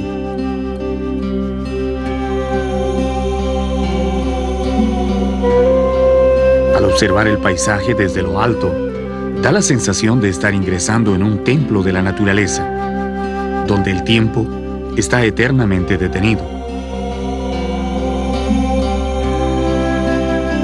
Este fue el escenario perfecto que los chachapoyas eligieron cientos de años atrás para sepultar a sus personajes más importantes. Pero se cuidaron de disimular bien las tumbas, situándolas lejos del alcance de los profanadores. El mausoleo se encuentra en la mitad de este cerro, a 120 metros de altura sobre la laguna.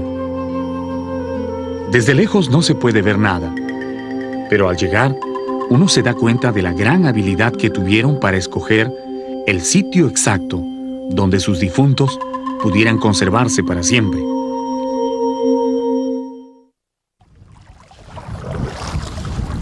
Para llegar a las tumbas, decidimos cruzar la laguna en un pequeño bote de fibra sintética que hemos traído desde la Imebamba. También se puede ir caminando por el monte, pero tarda más de dos horas y el paisaje no es tan hermoso como yendo por el agua.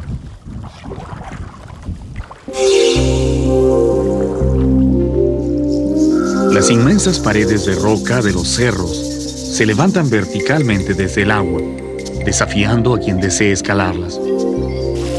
Parece imposible subir por ellas, pero en las escasas salientes se ven restos de entierros antiguos lo que significa que debe haber otros modos de llegar hasta arriba.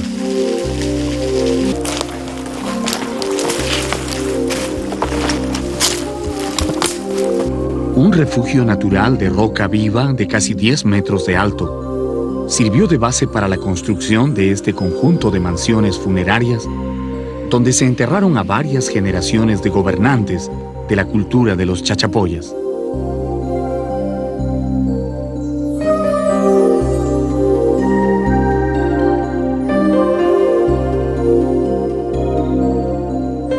Hechos de piedra unida con barro, los mausoleos tienen el típico estilo de la arquitectura de los chachas.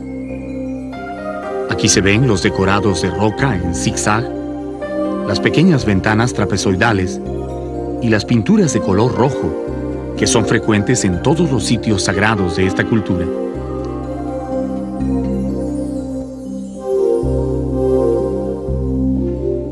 En total son cinco mausoleos, cada uno con dos niveles que pasan los cuatro metros de alto.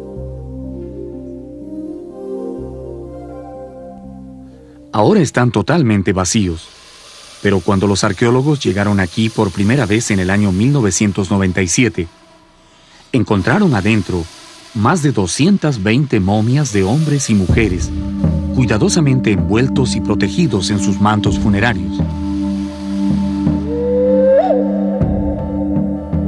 pesar de que los saqueadores habían destruido parte de las construcciones y robado algunas ofrendas de madera y cerámica, fue un verdadero milagro arqueológico encontrar tantas momias en su sitio original, rodeadas de textiles, ceramios, ídolos de madera y muchos otros objetos que nunca antes se habían visto en la ceja de selva.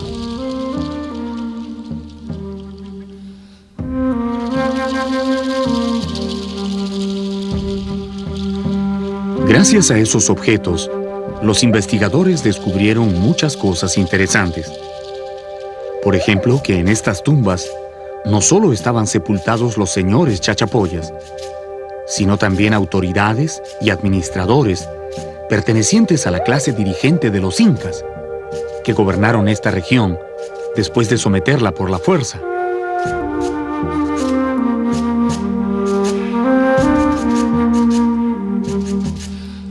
Los quipus y los aríbalos, que son objetos típicamente incaicos, se encontraron en abundancia dentro de los mausoleos. Y eso solo puede significar que después de conquistarlos, los mismos incas siguieron usando los sitios sagrados de los chachapoyas para enterrar a sus muertos. Este hombre podría haber sido un quipu camayo al servicio del incario. La técnica de momificación que usaron los chachapoyas y que logró preservar los cuerpos por cientos de años, a pesar del húmedo clima de la selva, es algo que también sorprende a los investigadores.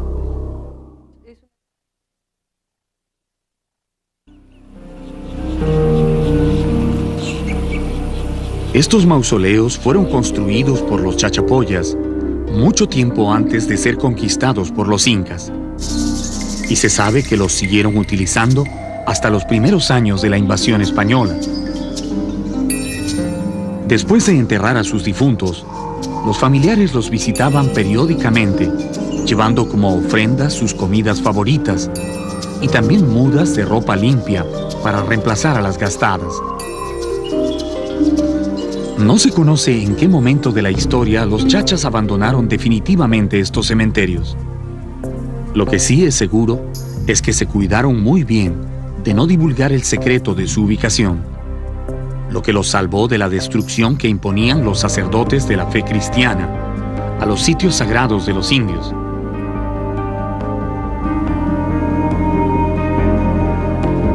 Hoy las tumbas están vacías. Los investigadores decidieron llevarse todas las momias para evitar que continúe el saqueo. Lo que fueron los cuerpos de los dignatarios chachapoyas e incas descansan ahora en un centro de investigación en Leimebamba, donde los estudiosos del pasado han comenzado a buscar respuestas a las numerosas preguntas que aún rodean la historia de esa espléndida cultura.